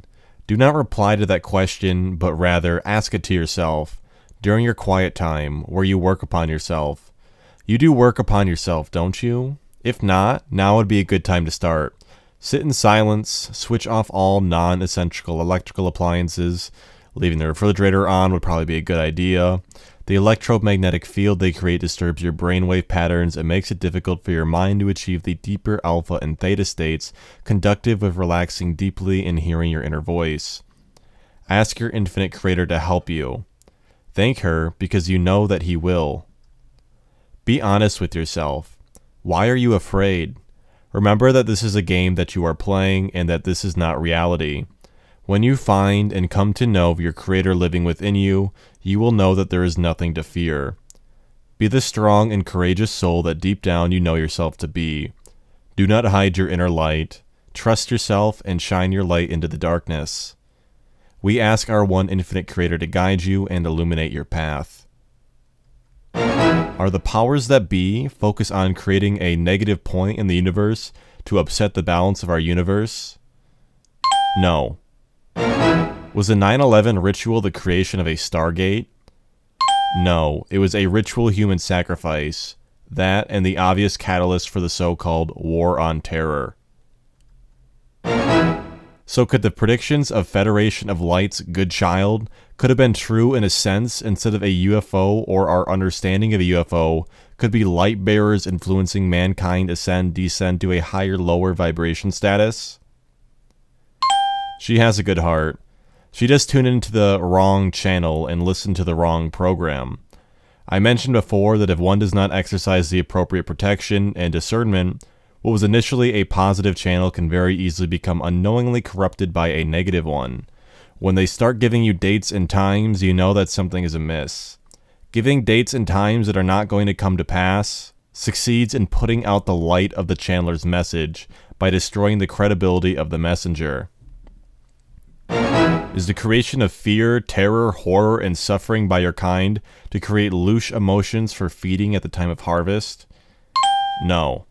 Are the bloodlines that have been infused with the ancient wisdoms trying to become gods themselves? There is no need to try. Humanity needs to grow beyond the stagnating concept of gods. The idea of God takes the power out of your own hands and places it upon some shadowy unknown figure somewhere out there. In other words, outside of yourself. Instead of God, see Creator. So there is no need to try. We already are creators, and so are you. The only question is will you create consciously or subconsciously? What is 1111? Think of it as an alarm clock.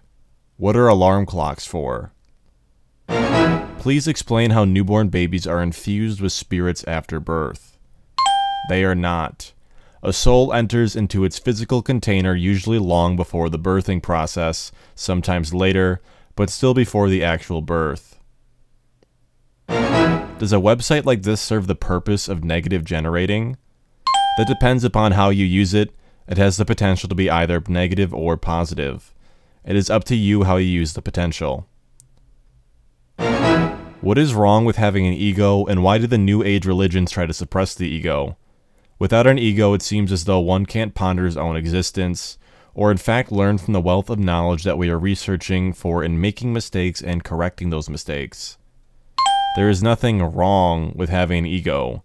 Your ego is an excellent and invaluable tool, yet as with any tool, if you do not have it under control, it carries the potential to become dangerous and do you and others much harm. Hidden Hand, strangely, my concern is that I will be recycled back onto the wheel of life and be reborn with a new brain and lose everything I have so arduously learned in this lifetime. Your soul remembers everything you've ever experienced. The only reason you don't remember it all now is due to what we term the veil of forgetfulness. If you came into each new incarnation of access to your soul memory, there's no point in your coming into space-time. It would be like playing a computer game with all the cheats. You wouldn't learn anything, and it takes the fun out of playing the game. Remember that this current physical body you carry around with you is not who you are, it's just the vessel for your essence. Who you are is real and cannot be destroyed. You will retain all your memories of this life experience once you pass under the realm of time space, or that which some call heaven.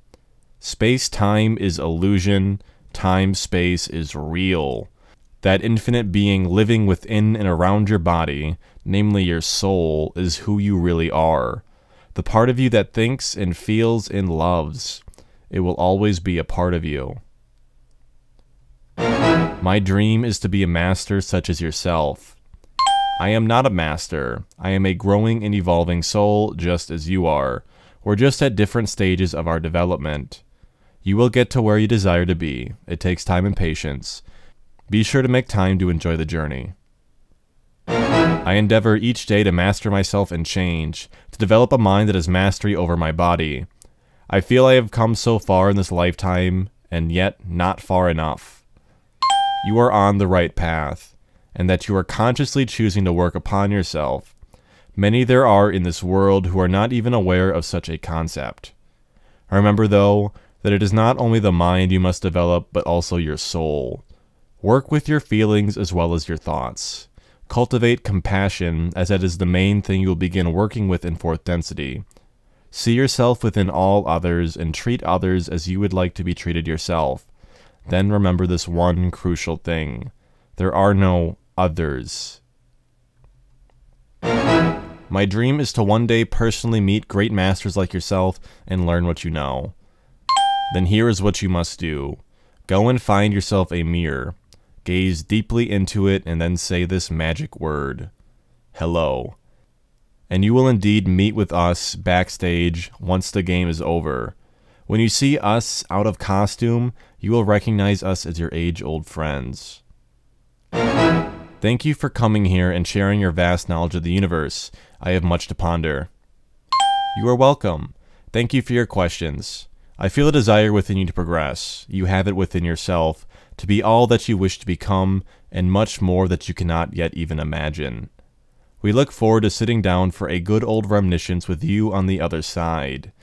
In the meantime, keep trusting in and working upon yourself, and live each moment in thanksgiving to our one infinite Creator. May our infinite Creator bless and guide your path. Honored Sir or Madam, I wish to be the one to bring a new planetary energy system to the world. As it is assumed that the families have great knowledge, I humbly request access to this small bit of needed information. A U2U message to set up a more secure route of communication would be splendid, I presume. I'm aware I can never be a member, but acolyte would suffice.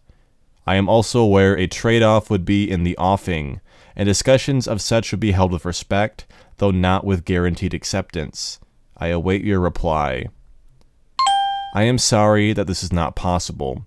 One is born into the family and raised in a very specific and rigorous way, which engenders unwavering loyalty. No matter how keen and sincere one may be to join us, we can only place our trust in those raised in our ways.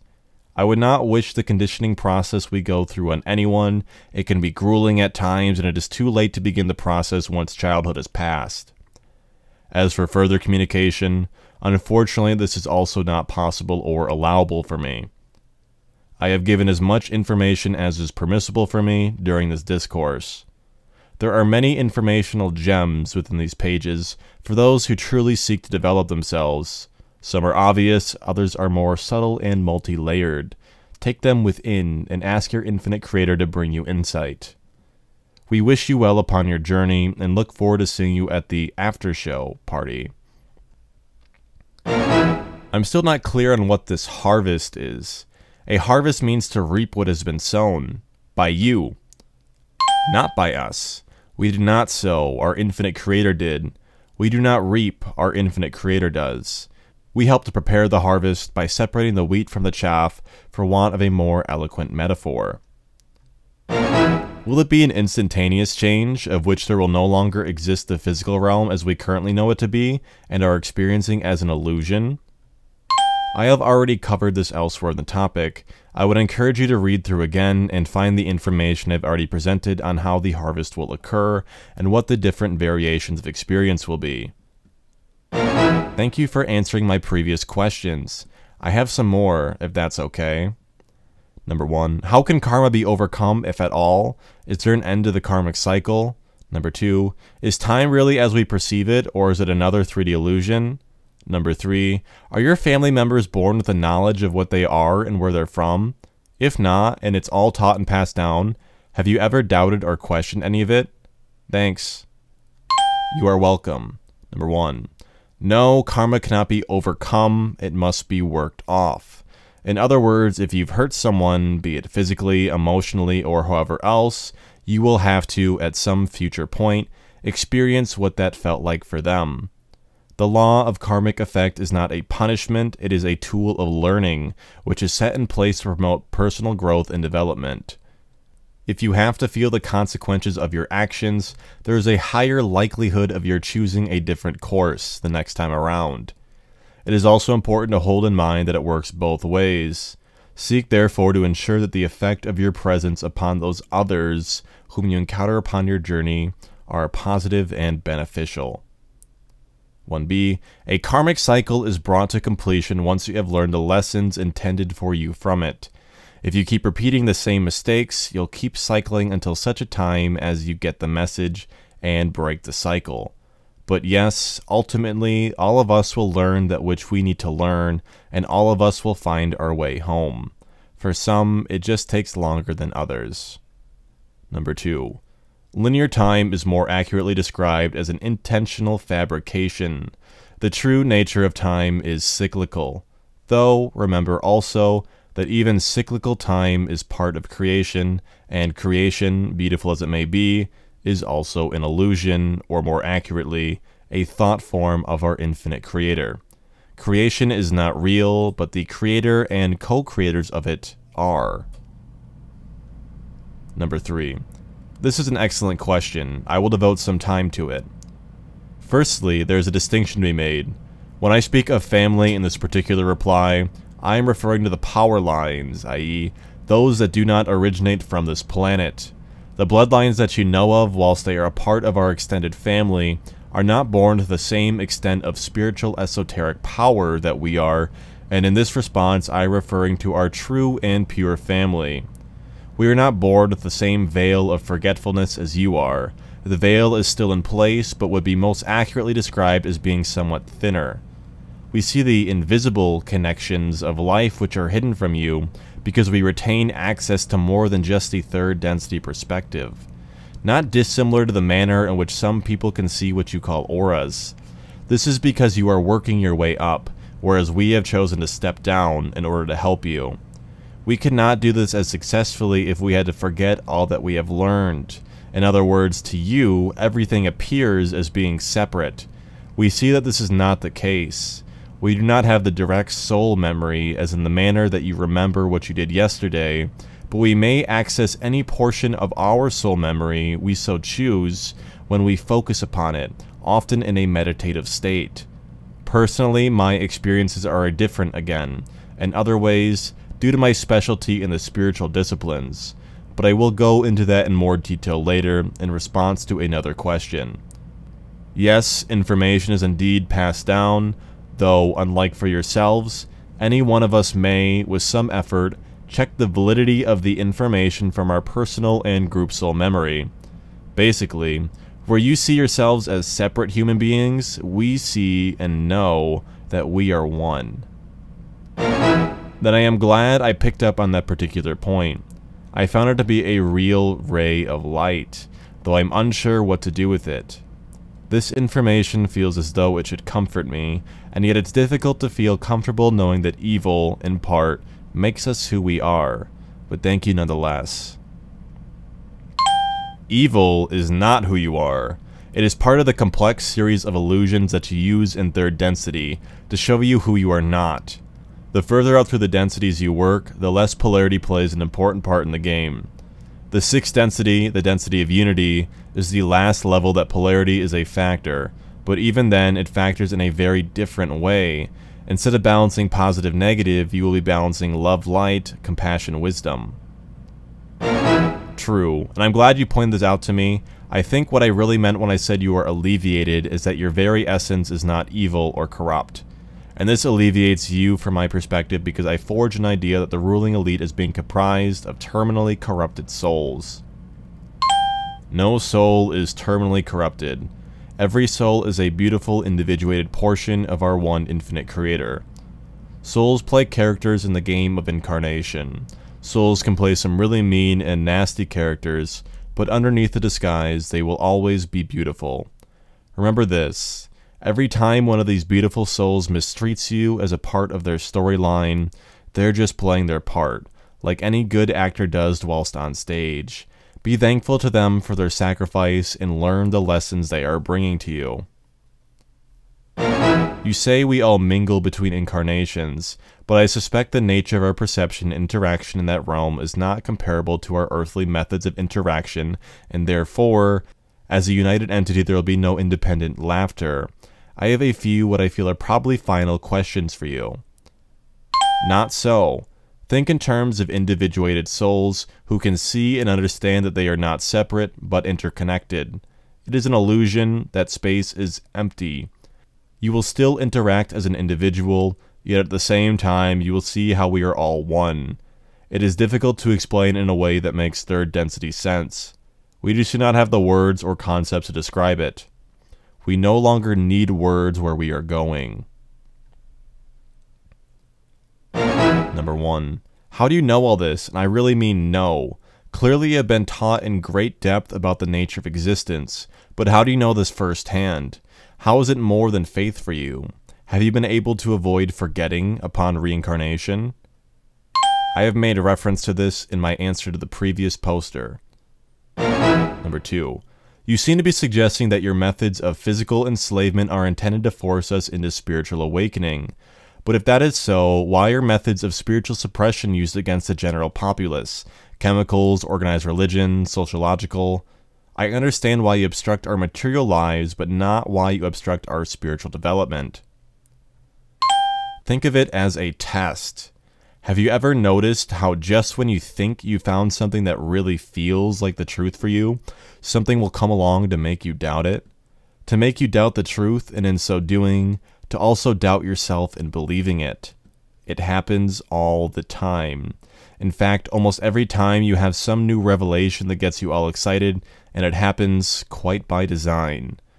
You cannot see this, however, as it's happening beyond third density comprehension, and a realm where everything can be seen as adjoining and relating to everything else.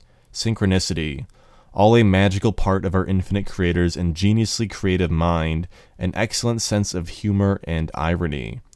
Can you see how the test works? Just when you find something that you've weighed up and dissected with your discernment, and decided to integrate into your concept of truth, Along comes the challenge to your newfound beliefs, usually in the form of an event or something that others may say to dissuade you. Your spiritual development, like all other aspects of your progression, is something that you have to work for. How do you know if your newly discovered truth is really true if you've never tested on it? The test is this. In the face of a challenge, who do you trust? Do you trust what the outside world is showing you, or do you hold fast to that which feels like truth deep within you? That is something you can only answer for yourself. I am sorry you do not have the time left to respond to all your questions, so I selected the ones I felt to be the most important. I have enjoyed our communication, Cithrall, and am happy to have made your acquaintance. Well, I must press on with more questions. I ask that our infinite creator bless and guide you on your path and give you the courage of your convictions. Be well, friend. I look forward to meeting up with you when we've completed the game. What question has not been asked of us yet that is most important for us to know, if any? And if there is any, would you consider it asked now? Not sure if this one does any good, but stuck in my mind last night. An excellent and incisive question to ask. I think what I shall do is to save this question for the very end of our discourse. It will be an effective way to bring our time together to a close. Hidden Hand, I know you're trying to focus on spiritual questions and questions about the density shift, but if you could detract for a moment to answer my questions about shapeshifting, I'd appreciate it. I will, but it must be very brief. I am sorry. Shapeshifting is not a natural phenomena. Shapeshifting creatures, races do not exist, at least certainly not in my realm, galaxy, or density we have ever experienced. However, there are certain rituals that when engaged in, enables this to take place. It has to do with the fact that the body, as is true of all physical things, is not really solid. Sure, it looks and feels as if it is, but in actuality all matter is composed of atomic and subatomic particles of light within molecules and compounds. As I say, I'm being brief through necessity. I don't have time to go into the science. There are certain rituals which, when undertaken, allow for a range of manipulations of the so called solid bodily mass to take place. I have seen some grotesque images in my time, which I really prefer not to dwell upon. I trust that even if in some small way, this will have answered your query. And this next question I will have to finish on for tonight. I have somewhere I must be. Hidden Hand, I wish to thank you for your enlightening words. It has been an utmost pleasure of mine to read what you have spoken. I do, however, have a couple of questions.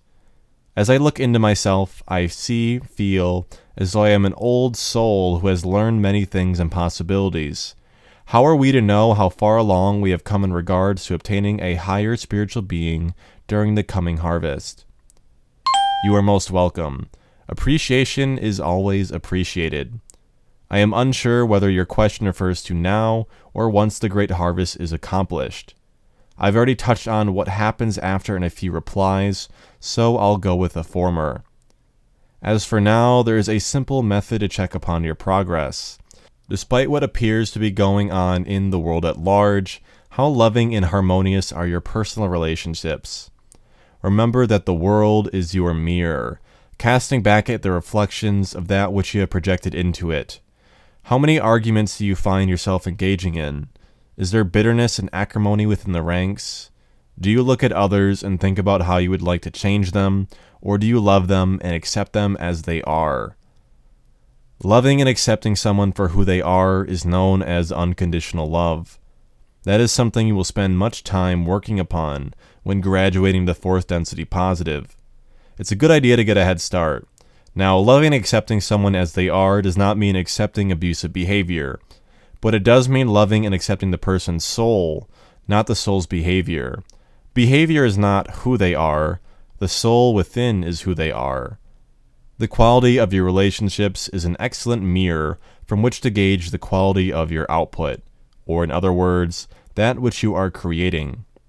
Do you look at a person and concentrate to a greater or lesser extent upon the things that you dislike about them and wish would change, or the qualities that you like and admire in them?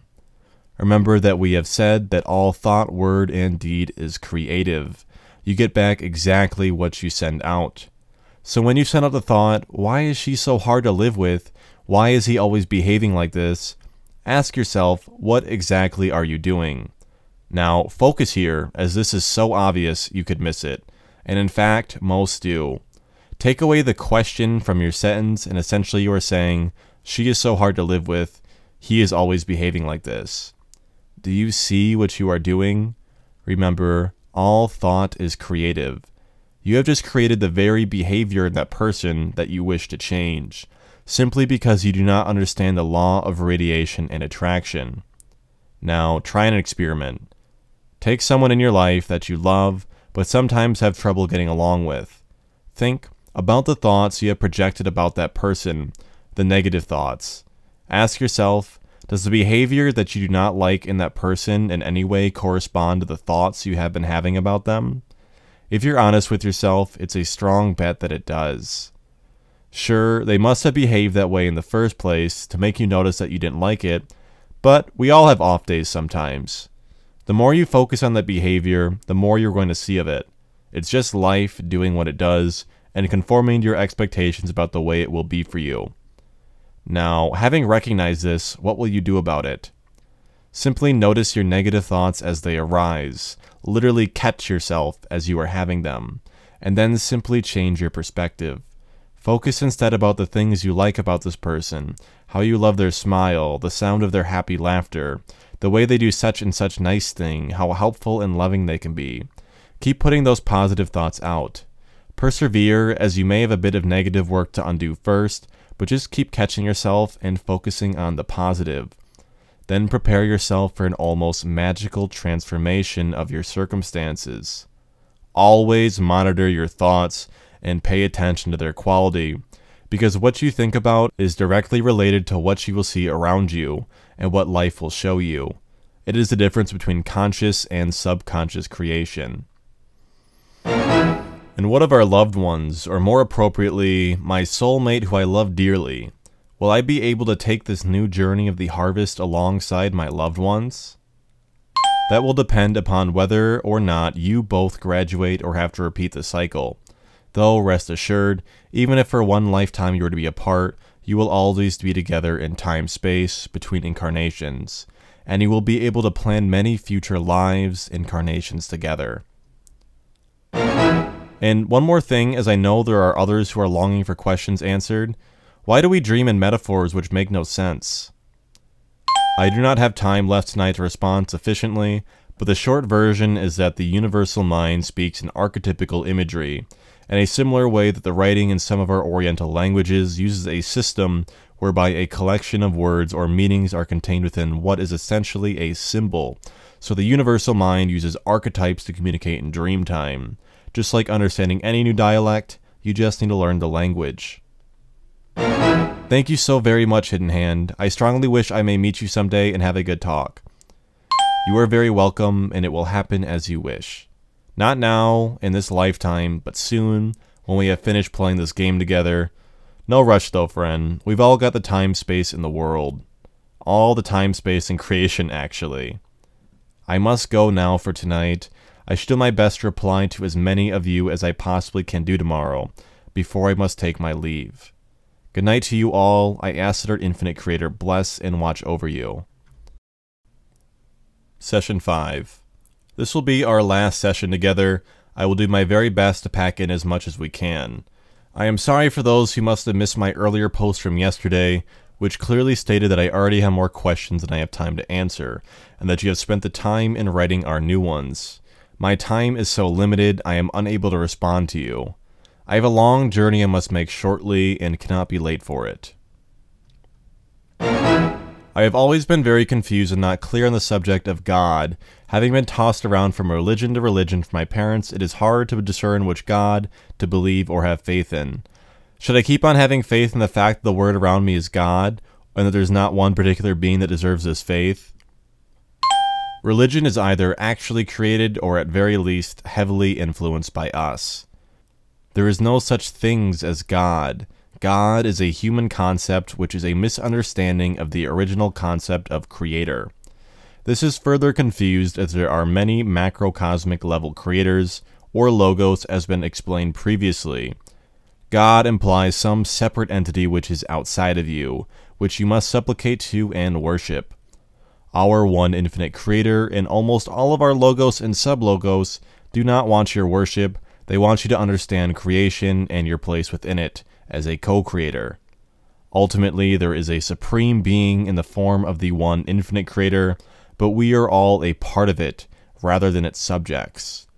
None of the names given for this supreme being by your religions are the true name, but they are indeed correct in that there is one supreme being, namely the infinite creator. They just have different concepts about it which spring from the text that the religion is based on. Do not worship your infinite creator, but rather live in a state of thanksgiving and service to it for bringing you into being and for this amazing game it has created, in which we may forget who we really are in order to remember and know ourselves one again, as the creator.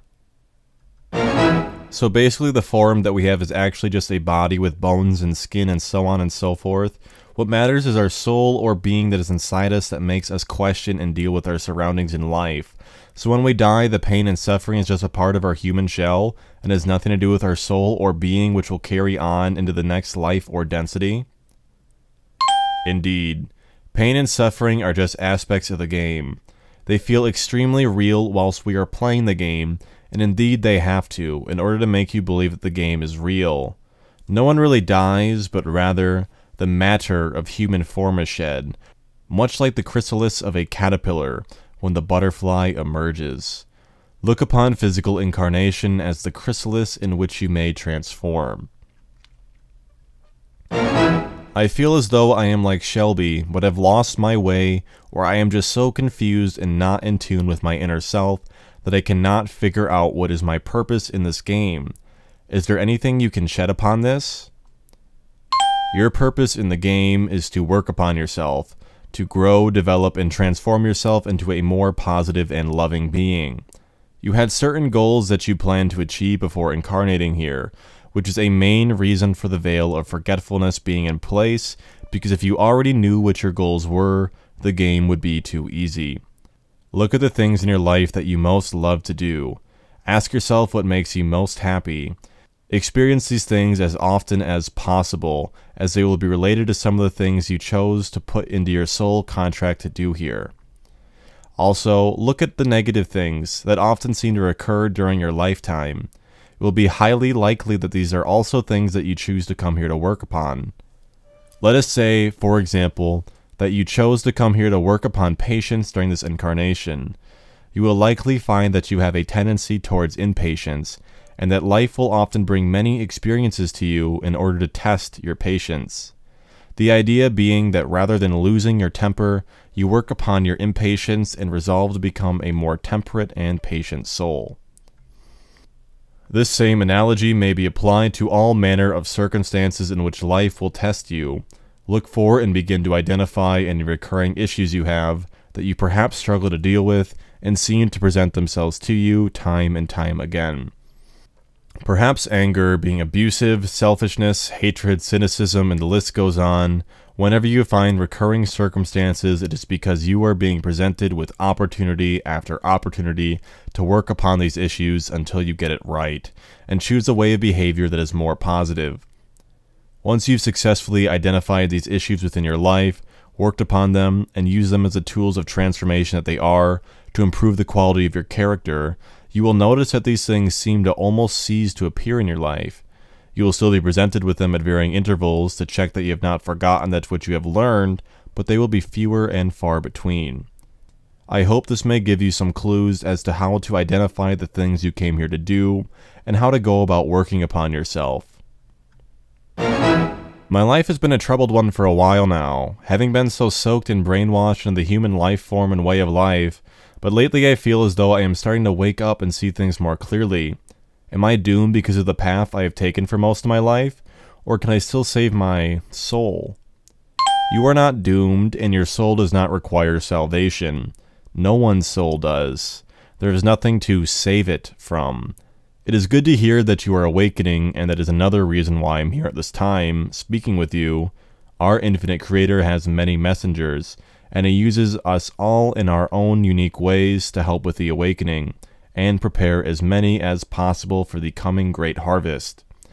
But as I say, you are not doomed, and there is nothing to save yourself from, except perhaps from ignorance.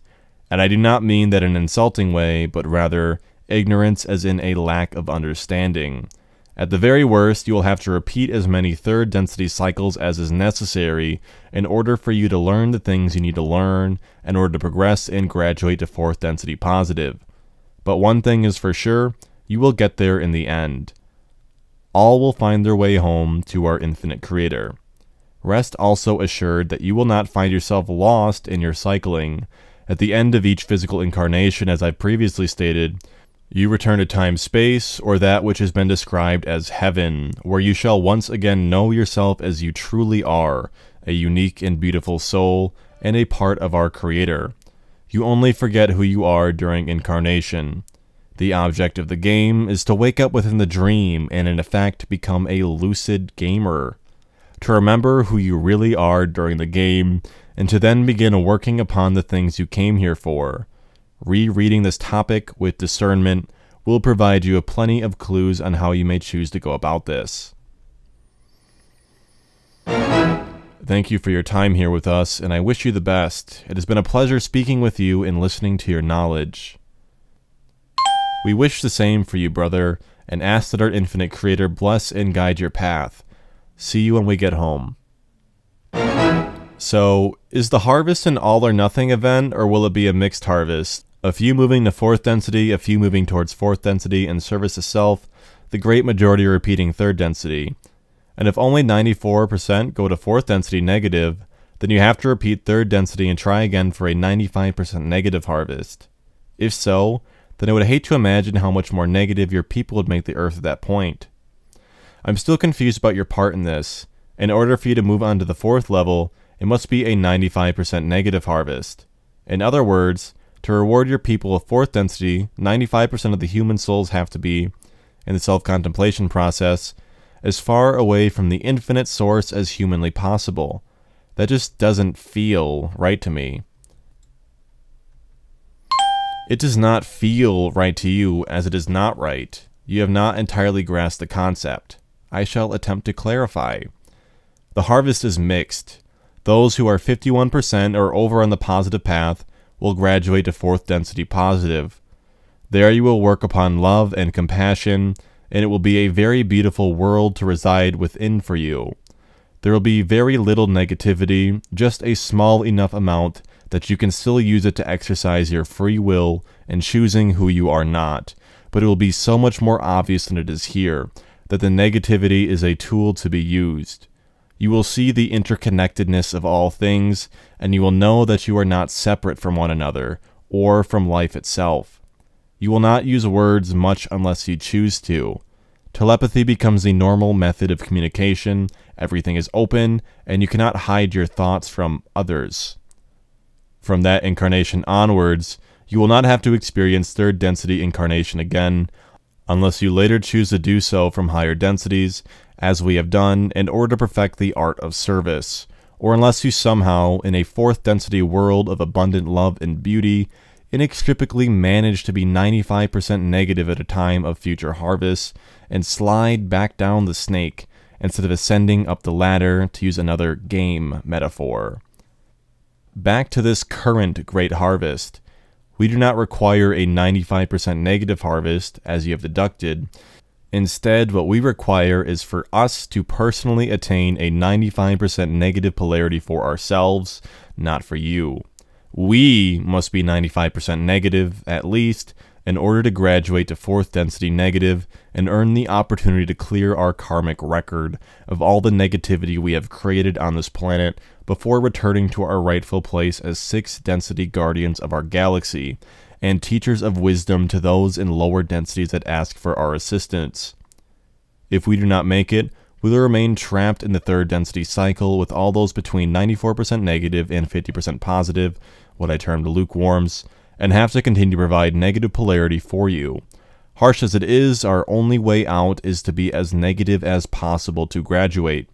We cannot choose to be positive because that is not what we came here to do for you. That's why I often refer to all the horrible things we've done here as our sacrifice. You said that the lukewarm people at the time of harvest would not notice anything has happened, but they'd be on a different planet.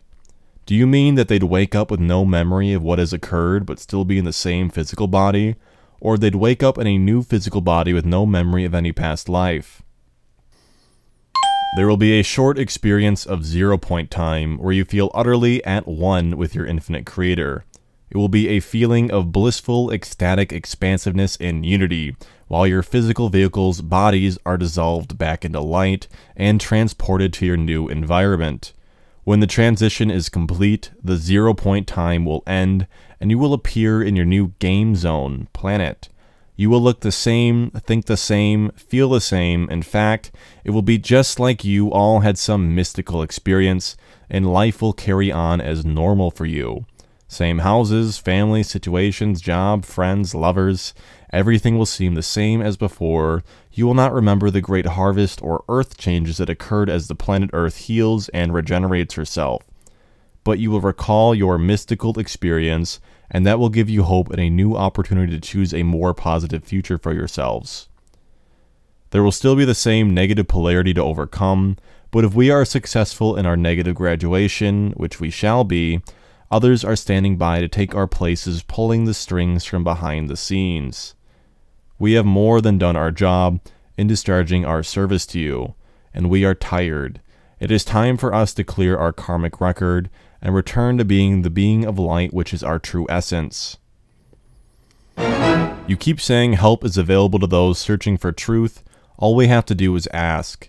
What is the best way to go about this? I have never had the ability to remember any of my dreams. Read back. I have given guidance on dream recall previously. It takes practice and is a slow process, but you have to start somewhere. Be patient with yourself. What specifically can I do to receive guidance on how to reach the state where it is easier to discern truth from untruth? Work upon yourself. Go inside in a state of meditative contemplation. Still your mind that your soul may have room in which to make its still small voice heard. Ask your infinite creator to help you and listen to your inner voice. Be patient. It takes time to develop this inner communication after a lifetime of neglect. When you persevere and keep working on yourself, gradually it will come to you. And when it does, you must learn to trust in your inner guidance, no matter what others may say. That is the ultimate test. To trust what you know deep inside as your truth, even when the whole world tells you that you are wrong. It is hard work to trust yourself when all those around you doubt you and call you crazy, but it is the job you came here to do. The only real and lasting truth is a self realized one.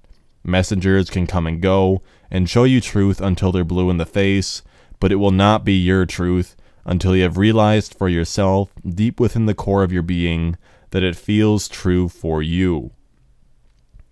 You should never accept something as true just because someone tells you it is so. But when your inner voice guides you that a truth is true, and you feel that old warm feeling of excitement welling up from somewhere deep within that says, Yes, I knew it, hold on to that feeling. Feelings are the language of your soul, and guard it carefully, as you can be sure that your newfound beliefs will be challenged in many ways. It is designed this way to test you. Your inner truth must be able to withstand the test of time and will be given a thorough examination. Hold fast to it so long as it is what you know to be true deep within. Allow nothing or no one outside of you to pull you from your path no matter how fiercely they contend with you. They are just doing their job, even if they may well not even be aware that this is what they are in fact doing. They are performing an important service to you, and you should be grateful to them for that. We wish you well on your journey and ask our infinite Creator to protect and guide you upon your path. Arc de Triomphe. I do not have the time to go into your many questions, so I will just select a few I can answer briefly as I still have so many questions to get through. Do the Orion occultist group specifically target civilizations before they become a social memory complex? Yes, but that does not make them immune to targeting others too, if they allow any chinks to appear in their armor. In short, the Orion Empire are fourth density negative. They are lost in the sense that they have drifted so far from their true nature that despite many attempts, we've been unable to reach them and help them to develop. They exist within their group soul complex, mostly as a group of discarnate entities within the astral planes of the planets they visit. They have no intention of returning home and instead seek to feed off of negative energy to keep themselves going, as they are disconnected from their inherent natural life force by refusing to abide by the infinite creator's incarnational principles. The time we spend between lives and time space is intended to restore our soul energy from within, in order to continue our upward progression. They are essentially imprisoned within the fourth density negative cycle, as there is no negative harvest beyond the fourth density. So they spend their time traveling the galaxy, basically using the dark side of the force, negativity, to achieve their means. They will eventually be brought back before the one infinite creator and dissolved back into the intelligent infinity, source of all, though they are being given every chance for as long as possible to learn the error of their ways and return to seeking the positive and to begin their journey back home. Their main trouble is they do not want to go home. They see themselves as being gods and do not intend to submit to the authority of the One. Why all the sudden ramping up of control mechanisms? The great harvest is fast approaching, time to really bring on the polar extremes. The Montauk Project Fact or Fiction? The project is fact, though the publicly available information is in some ways corrupted. Best ways to decipher between truth and fiction, other than what we perceive to be truth, specifically in concerning the New Age agenda and the dogmatic church's ideologies. Follow your heart. Listen to and trust your inner voice. Please explain the Wanderer's roles and what value it is to be Wanderer if you have no recollection of one's past lives. Also, how does this play with the law of non intervention? That's if they are here to help people. The Wanderers, or Travelers as they are also known, are those from higher densities who have chosen to incarnate here at this time in order to perfect service to others. They still have to remember who they are, and part of the concern is that sometimes even they do not manage to awaken in the game, such is the power of the illusion. They are here to awaken themselves and then to help awaken others to prepare for the coming great harvest. Though even if they fail to awaken, they are not bound by the third density cycle as they've already mastered it. Once their incarnation is over, they are again free to return to their appropriate levels. Are there any non corrupted parts of the Bible, and if what Bible version would you suggest? No. As with all sacred texts, they have been distorted from the original information that was given with each translation. Though again, as with all sacred text, there is still much truth hidden within them, much of it being metaphorical. If you can find pre King James versions, that is the closest you will get. Good luck with that. Was the Rothschild lineage the organizer of the Illuminati in which Weishaupt later formed? No. Weishaupt was just a puppet on a string. The Rothschild's lineage, not its original name, were the preeminent line closing the net of control over humanity. But even they are a lesser line within the family. As I have said, the names you know do not have the real power. They are part of the family, but not an original part.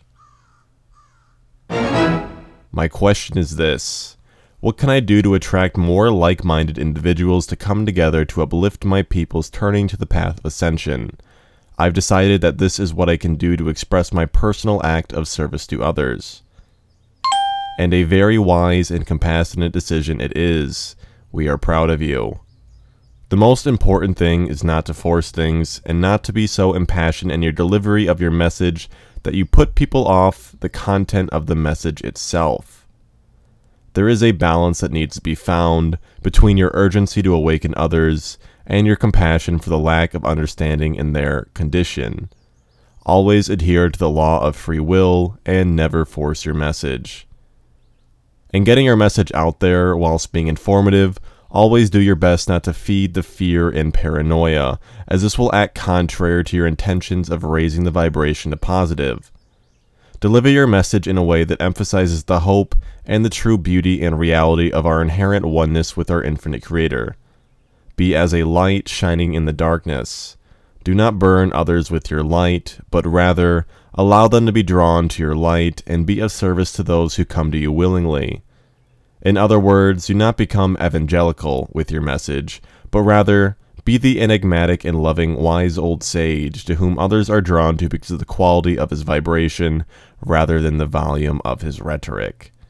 Most importantly, practice that which you preach Others must be able to see the effect of our infinite Creator conducting his wonderful work through you.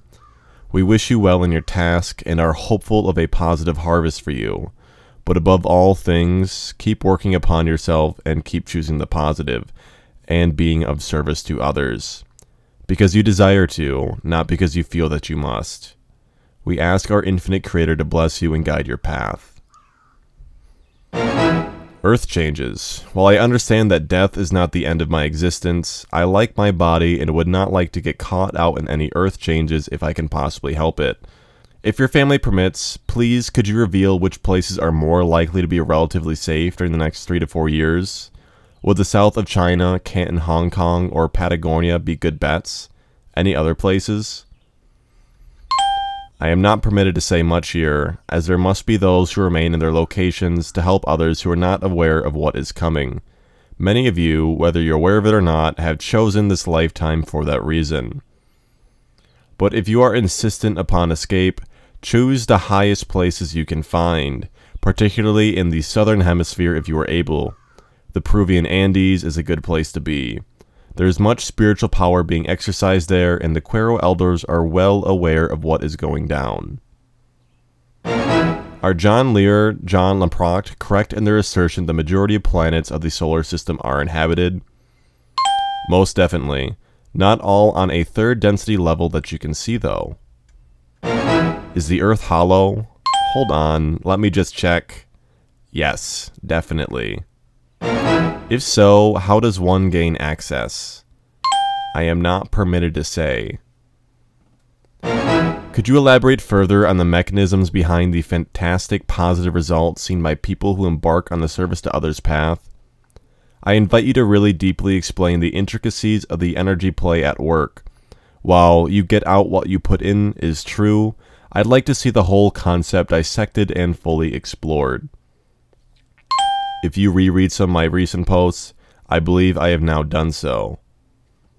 I recently experienced healing of a minor health problem by sending love to all the sick people in the world. How does this work? Not why, how. Because there is only one of you here. Understand that at a deep core level of your being, and you will understand how it works. As you do unto others, so you do to yourself. You claim your family was put here to be the negative influence of the world. Is there a family it is asserting a positive influence on us as well? Is it up to us, humanity, to be that positive force? An interesting question. There is such a family, or group more accurately, but you cannot see them, and neither are you aware of their existence. They help the planet from a secret inner location, by the quality of the energy work they engage in and project outward to you from the source. Yes, it is up to you to be the changes you wish to see in yourself and in the world. Your goal is a negative harvest, yet you are clearly are touting the benefits of a positive life. This seems antithetical to your goal. That is not so much a question as an observation, but if you could elaborate on that, I would appreciate it. Hmm, another very perceptive question. Thank you. Our goal is a negative harvest for ourselves, not for you. We provide the catalyst of negativity for you, and it is up to you what you do with it. The drastic extent of the negativity we create, though, has more to do with us than it does with you. So my earlier reply should make clear why that is so. Also, in response to your observation regarding the antithetical nature of some of what I have shared here, there is a simple explanation. Let's put it this way. I have already been, shall we say, chastised for going well beyond my remit here. It was not intended that I be as open as I have been. In fact, if you follow the topic through again from the beginning, you may notice how my tone toward you collectively has softened somewhat during our discourse together. I have, as far as possible, adhered fully to the laws of free will and confusion, although there have been instances where I have said more than I should have. You, yourselves, will not suffer for this. However, when it comes to my next cycle in fourth density negative and working off my karmic record, I will have to accept the consequences for my actions. But hey, I figure I've got a negative enough life to come as it is, so what's a little extra going to matter? I was reluctant to be the one tasked with this communication. I still very much have a weakness for compassion, but I obey and discharge the assignments given to me. It has been a very long time since I last spent any time in having direct dealings with your kind in general.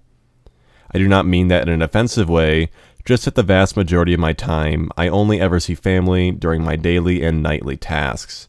I do not live what you would call a public life, I am sheltered and secluded. I did not anticipate how involved I would become in this process. To be honest, I really did not expect so many questions and such a warm and open-minded reception from the majority. You could say that I have in some way grown somewhat attached to you. In effect, this window of opportunity has also become such for me too. What began as me just doing my duty has become more a labor of love, and when this is all over by the end of this evening, I think I will actually kind of miss you all, and having this involvement with those of the outside world. I was chosen because it was decided that someone of my diplomacy skills would be best to deliver this message. Due to the very nature of the subject matter, there was much potential for discord. It was felt important that the message did not become lost in a self-righteous or defensive delivery system. So, you got me. And I'm actually glad now in retrospect that you did. I sit here and chuckle to myself, in light of the way some people here have spoken to me, how this discourse may have descended into something ugly, where certain others amongst my family who were also considered for this assignment to have actually been given this job. Now I know why I was chosen. As with all things, it was meant to be this way. I couldn't care less what others think of me, so as long as I know I am serving my Creator as He desires, to the best of my ability. His is the only approval I require or desire. I have nothing to defend, so I guess that's why I was perfect for this task. Anyway, enough with the sentiment, I have more questions to answer. A common saying among Christians is Satan's greatest trick is convincing the world that he didn't exist. I think there are Christians that would look at what you've written and see it as an elaborate ruse to make the devil look good. Satan is a human invention, simply the personification you have given to all the negativity that has existed on this beautiful planet. You didn't know who to blame, and as you could not find it within yourselves to take any of the responsibility, Satan was created to absolve yourselves. Many of my friends and family are Christians, and they would likely think the same. How would one even go about presenting this information to a person of that mindset? I am not here to spread your gospel, but I would definitely like so to share this with a few of my friends. How can you present anything to ones who have no desire to have their belief system challenged? They will believe what they want to believe, and nothing you or I can say is likely to make any difference. It becomes ingrained at a subconscious level, and when a belief structure becomes that insidious, the only way it is likely to change is through a mystical experience, or such a personal demonstration of another way and the life lived of another, that one cannot fail but to notice that there is something different about them. How can you reach such as these? Only by example. That being said, is it okay if I condense your writings into one long post on my blog? I need to make sure that doesn't violate my user agreement here. I would also like to make sure that I won't get a visit from the Men in Black if I do so. That is amusing. Thank you for the chuckle. Yes, you are most welcome to collate this discourse for presentation elsewhere. The only thing I ask is that anyone choosing to do so respects my wishes and copies only the message itself. In other words, do not include all the petty side discussion. If you want to present this message to others, please honor my, our original intention that the message is presented as a whole. When I said in my opening post that I required provisional faith or suspended judgment, I made it very clear why this was the case. I couldn't care less if people do not believe it, I never expected that many would, but what I desired in asking for the above was that the message was allowed to be presented in full, with all genuine questions replied to, and then once that process is complete, you can say whatever you like about how much of a hoax you may or may not believe it to be. If I may be crass for a brief moment, I couldn't give a flying how much vitriol and scorn is poured upon our message, or how many futile verbal attacks may be launched against its messenger. The message will reach all those it is meant to reach, and that is exactly the way it should be. It is what the Creator wants. Those with ears to hear, eyes to see, and a heart to understand will hear the message, and the seeds planted will grow strong in such fertile soil as these. So please, therefore, if you respect that which I have shared here, and the courteous manner in which I have shared it, if you want to copy it, copy only my posts. My posts all quote within them the questions I respond to, so there are no other posts required, if a genuine representation of the message is that which you desire to take away with you.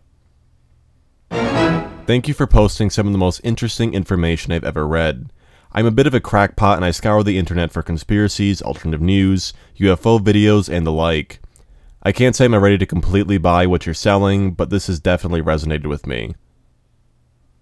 You are welcome, and I, in turn, thank you for reading with an open mind. I would never ask or expect you to buy what I'm selling. If you notice, I have stated throughout our message that the very last thing I want is for it to be blindly believed or taken as gospel. As I've said, it is yet another in a long line of catalysts that your infinite creator has provided you with down the course of history.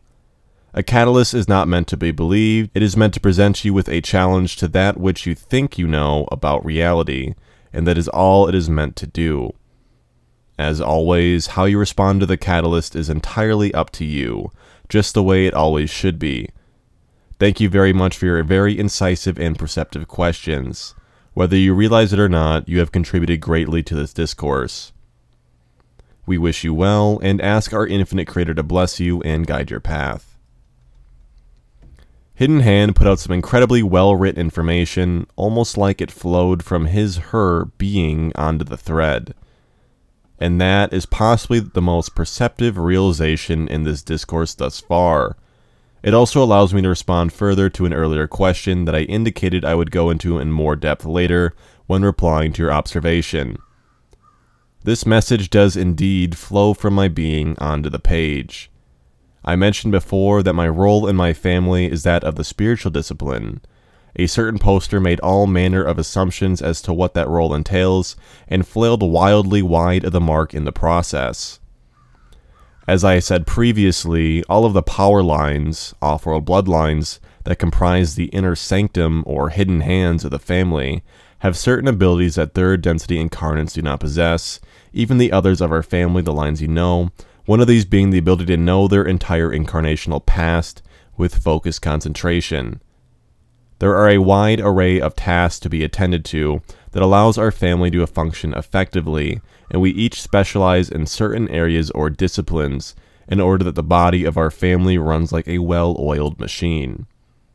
My area, and that which I spend the vast majority of my time actively involved in, is that of spirituality our spirituality, not that of the peoples of the earth. Others below me deal more in that area. I could be likened to that of a priest or a minister, in the same way as your religions and spiritual teachers have the responsibility of listening to the voice of their Creator and delivering His messages, so too do I. I have been actively engaged in this role now for a great many years. It has become second nature to me.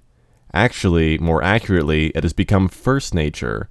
A large part of my role is to constantly be in the awareness state of our group soul, Lucifer. That is why you will notice that I so often refer to we even as I'm speaking in the first person. That has just become natural for me. I spend most of my time speaking with my family as Lucifer, the group soul perspective. When I speak henceforth, it is not me, the individual soul spark, that is speaking to you in essence, but rather, for want of a better description, because it is far from accurate, you could say that I, in effect, I am channeling Lucifer. That is why this discourse flows so easily. As some have noted, the chances of me having spent however much vast quantities of time researching all this material to hoax with, and present it in the fluent method that I do, as in regular daily installments, whilst I guess could be remotely possible, is unlikely in the extreme. For those who are open enough to receive the above explanation, now you know why and how it is done. I speak not for myself, but rather for him who sent me, my own creator, Lucifer. I know and have experienced that which he knows and has experienced, because essentially we are one and the same being. I have never been involved in any organized religions per se, but have always been spiritual. I do look at the many religious texts out there because I believe they all have parts to the story. One can find great knowledge from many different books or religious texts. I believe that we as humans are creators like the one creator and we are all one. I also believe we will be moving into a higher level of consciousness where we can consciously co-create in our world since we are only unconsciously co-creating at the moment. Your insight serves you well. There is so much more I would like to speak with you about, but am not able to think of what exactly I want to say. Thanks for those great words that you speak to us and appreciate what you are doing. With love. Do not worry, friend, we feel your heart, and it does not need to be expressed by the confines of limited words. We can speak all you like, and will be happy to do so when the game is over. Also, do you know of Miriam Delicado? I just watched her interview in the Project Camelot site and it was very inspiring to me. So let me ask, are you one of the tall blondes that she speaks of? She is a beautiful soul. I have not seen the interview of which you speak, but we know of her experiences. The tall blondes of which you speak are of Plagiaran heritage. They are working with what is known as the Galactic Confederation of Planets. They serve the positive vibration. Plagiarans are from the constellation you call the Pleiades. Its actual name is the Plagiares, hence Plagiarans.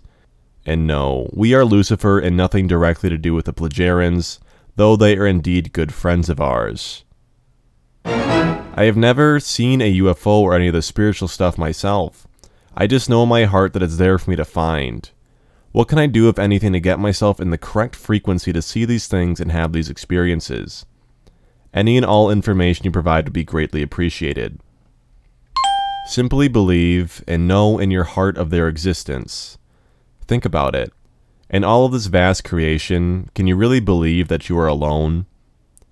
I will pre-warn you though, so as to avoid disappointment. You will only receive communication from them if that is something you have already agreed together in your soul contract before coming here. Many here at this time, millions, have a part to play in the Great Awakening and preparations for the Great Harvest. Many who do not believe now will begin to open their minds as the earth changes that are coming begin to take effect. People will be terrified and have no idea what is going on because the governments have concealed this information from you. These travelers, or what some have termed star seeds, are incarnated here to help on the ground level when this all begins play out over the next few years. When the time is right, they will come forward. Most people are not ready to hear this information yet, but not so far off, they will be. Many of these star seeds have not yet awakened themselves.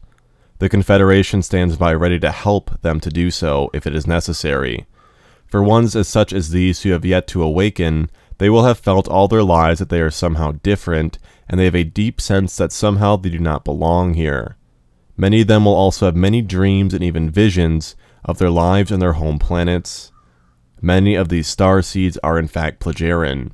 That is why the tall blondes keep showing up, to help their family awaken to their assignments here.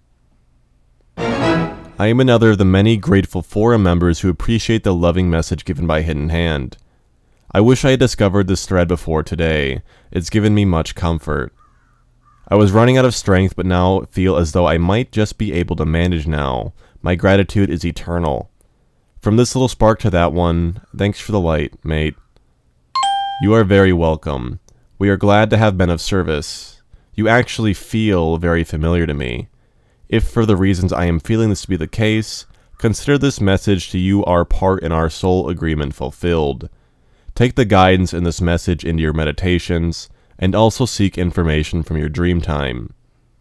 Test these words deeply and take them into your heart only if they feel right and truthful to you.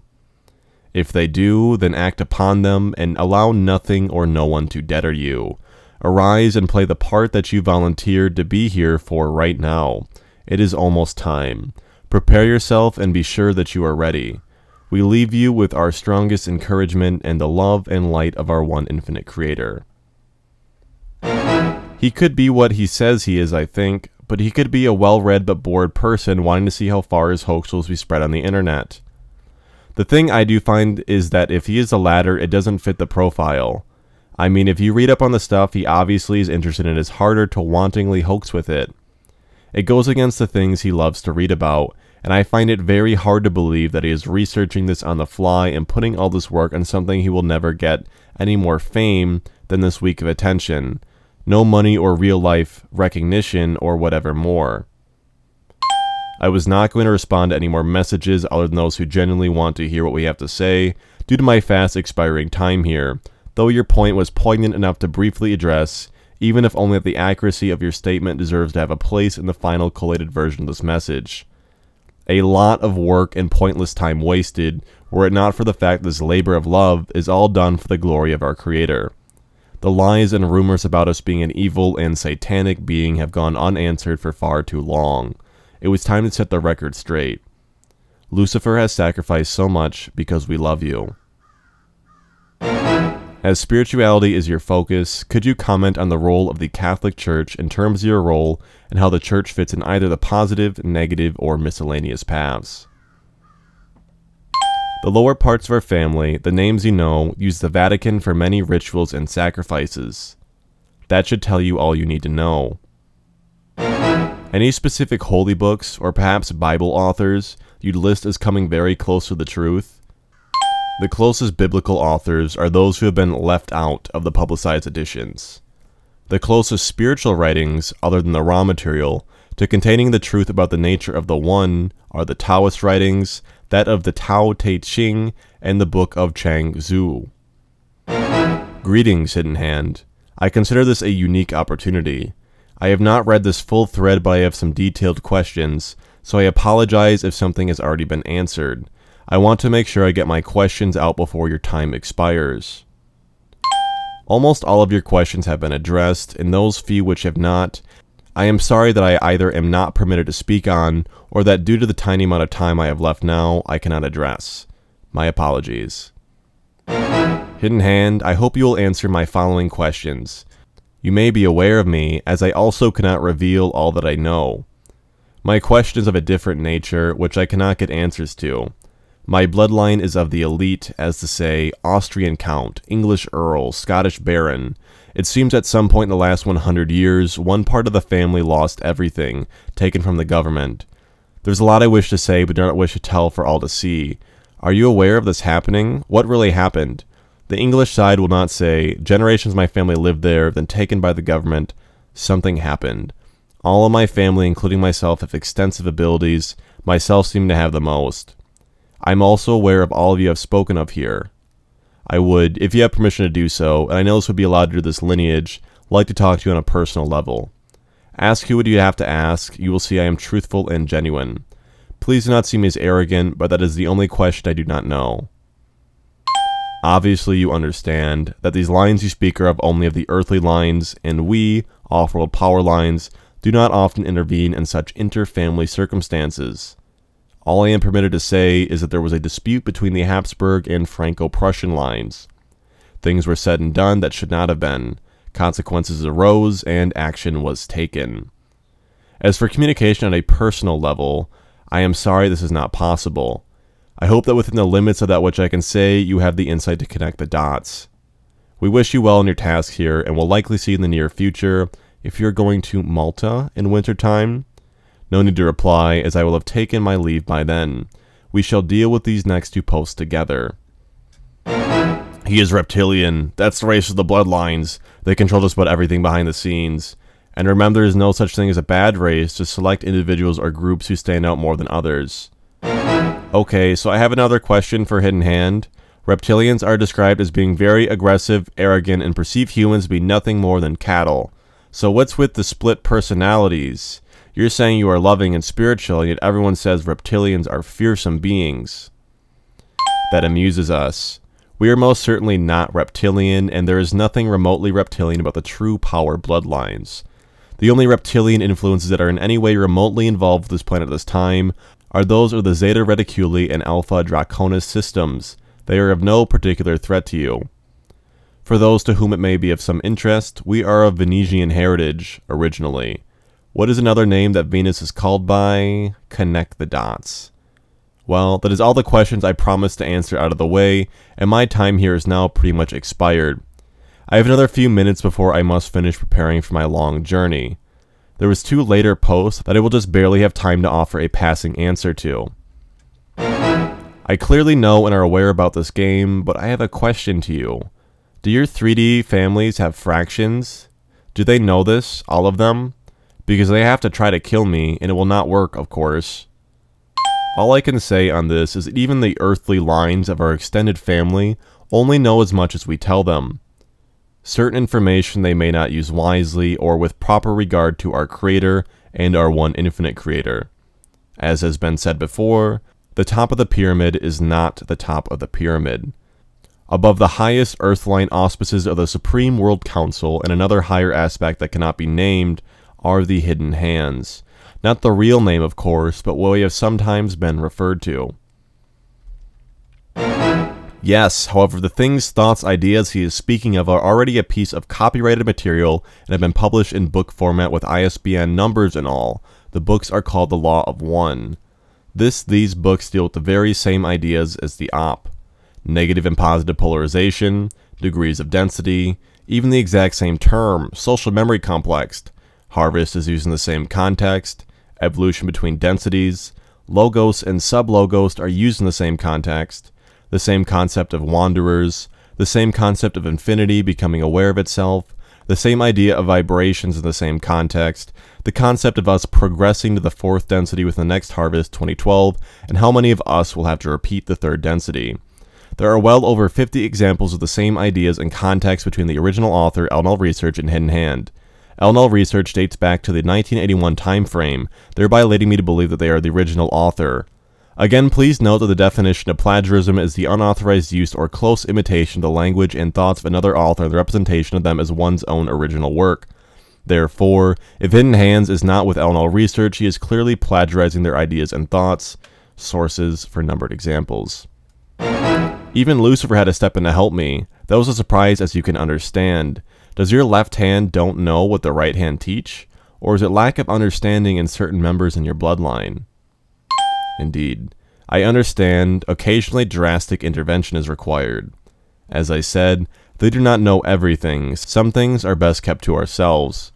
Temptation can prove too great when certain powers lay in the hands of those whose hearts is not utterly pure of intention. Let us just say that some seem to enjoy the game a little too much from time to time. Their actions are more from ignorance and malicious intent towards you. Please forgive them, as they knew not what they were doing, but thought it the right thing.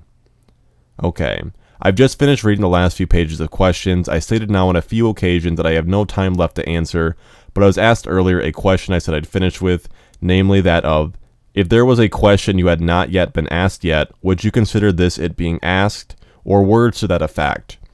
So there is one other question from the last pages that I will use in that vein. This will really have to be it though. I am truly sorry I cannot reply to the many other heartfelt responses that sadly must remain unanswered. We must be leaving for an important task in Rome, and already I have others here with me imploring me, will you please to shut down that flipping computer and get your things together. They are laughing at how involved I have become in this task of mine. My father is teasing that I should begin at early 6th density again to balance my compassion. Anyways, I must finish. This has been very informative and has cleared up much for me. Thanks once again, Hidden Hand. My take on this is much different even from what it was the last time I posted in this thread, so hopefully these questions will be a little more relevant. I am curious as to how the bloodline family structure works. You said there are people who are part of your extended family that we may know of. So are these the Rockefeller, Rothschilds, Bush, House of Windsor, etc., typically known in conspiracy circles as the New World Order? How close is your interaction with your extended family, and are they as spiritually enlightened as you seem to be? Can you just kind of give us an outline of how the family is structured, how much each level knows in relation to the top, etc.? Because there are a lot of theories and know-it-alls out there, it would be nice to get it straight once and for all. Be as detailed as you feel is appropriate. Okay, and this will have to be a really brief overview as my time is up. Starting at the bottom level, you have what we call local cell groups or family clusters. There will be anything from say 5 to 30 or so of these, depending upon the size of the town or city in question. Each local area has its own council, comprised of local leaders representing the six disciplines of learning. There's also either a high priest or high priestess of the order who serves the local community. Above this, you have the regional council with the leader of each local council representing their specific areas. Then the national council in the same vein, with the leaders of the regional council sitting to represent their regions. Then you have the Supreme World Council above them all, with the national leaders representing their countries. Above this is another group I cannot mention, who liaise with the Hidden Hands. Then above this, there are many other levels of leadership, purely from the power lines, the ones that are not of this planet.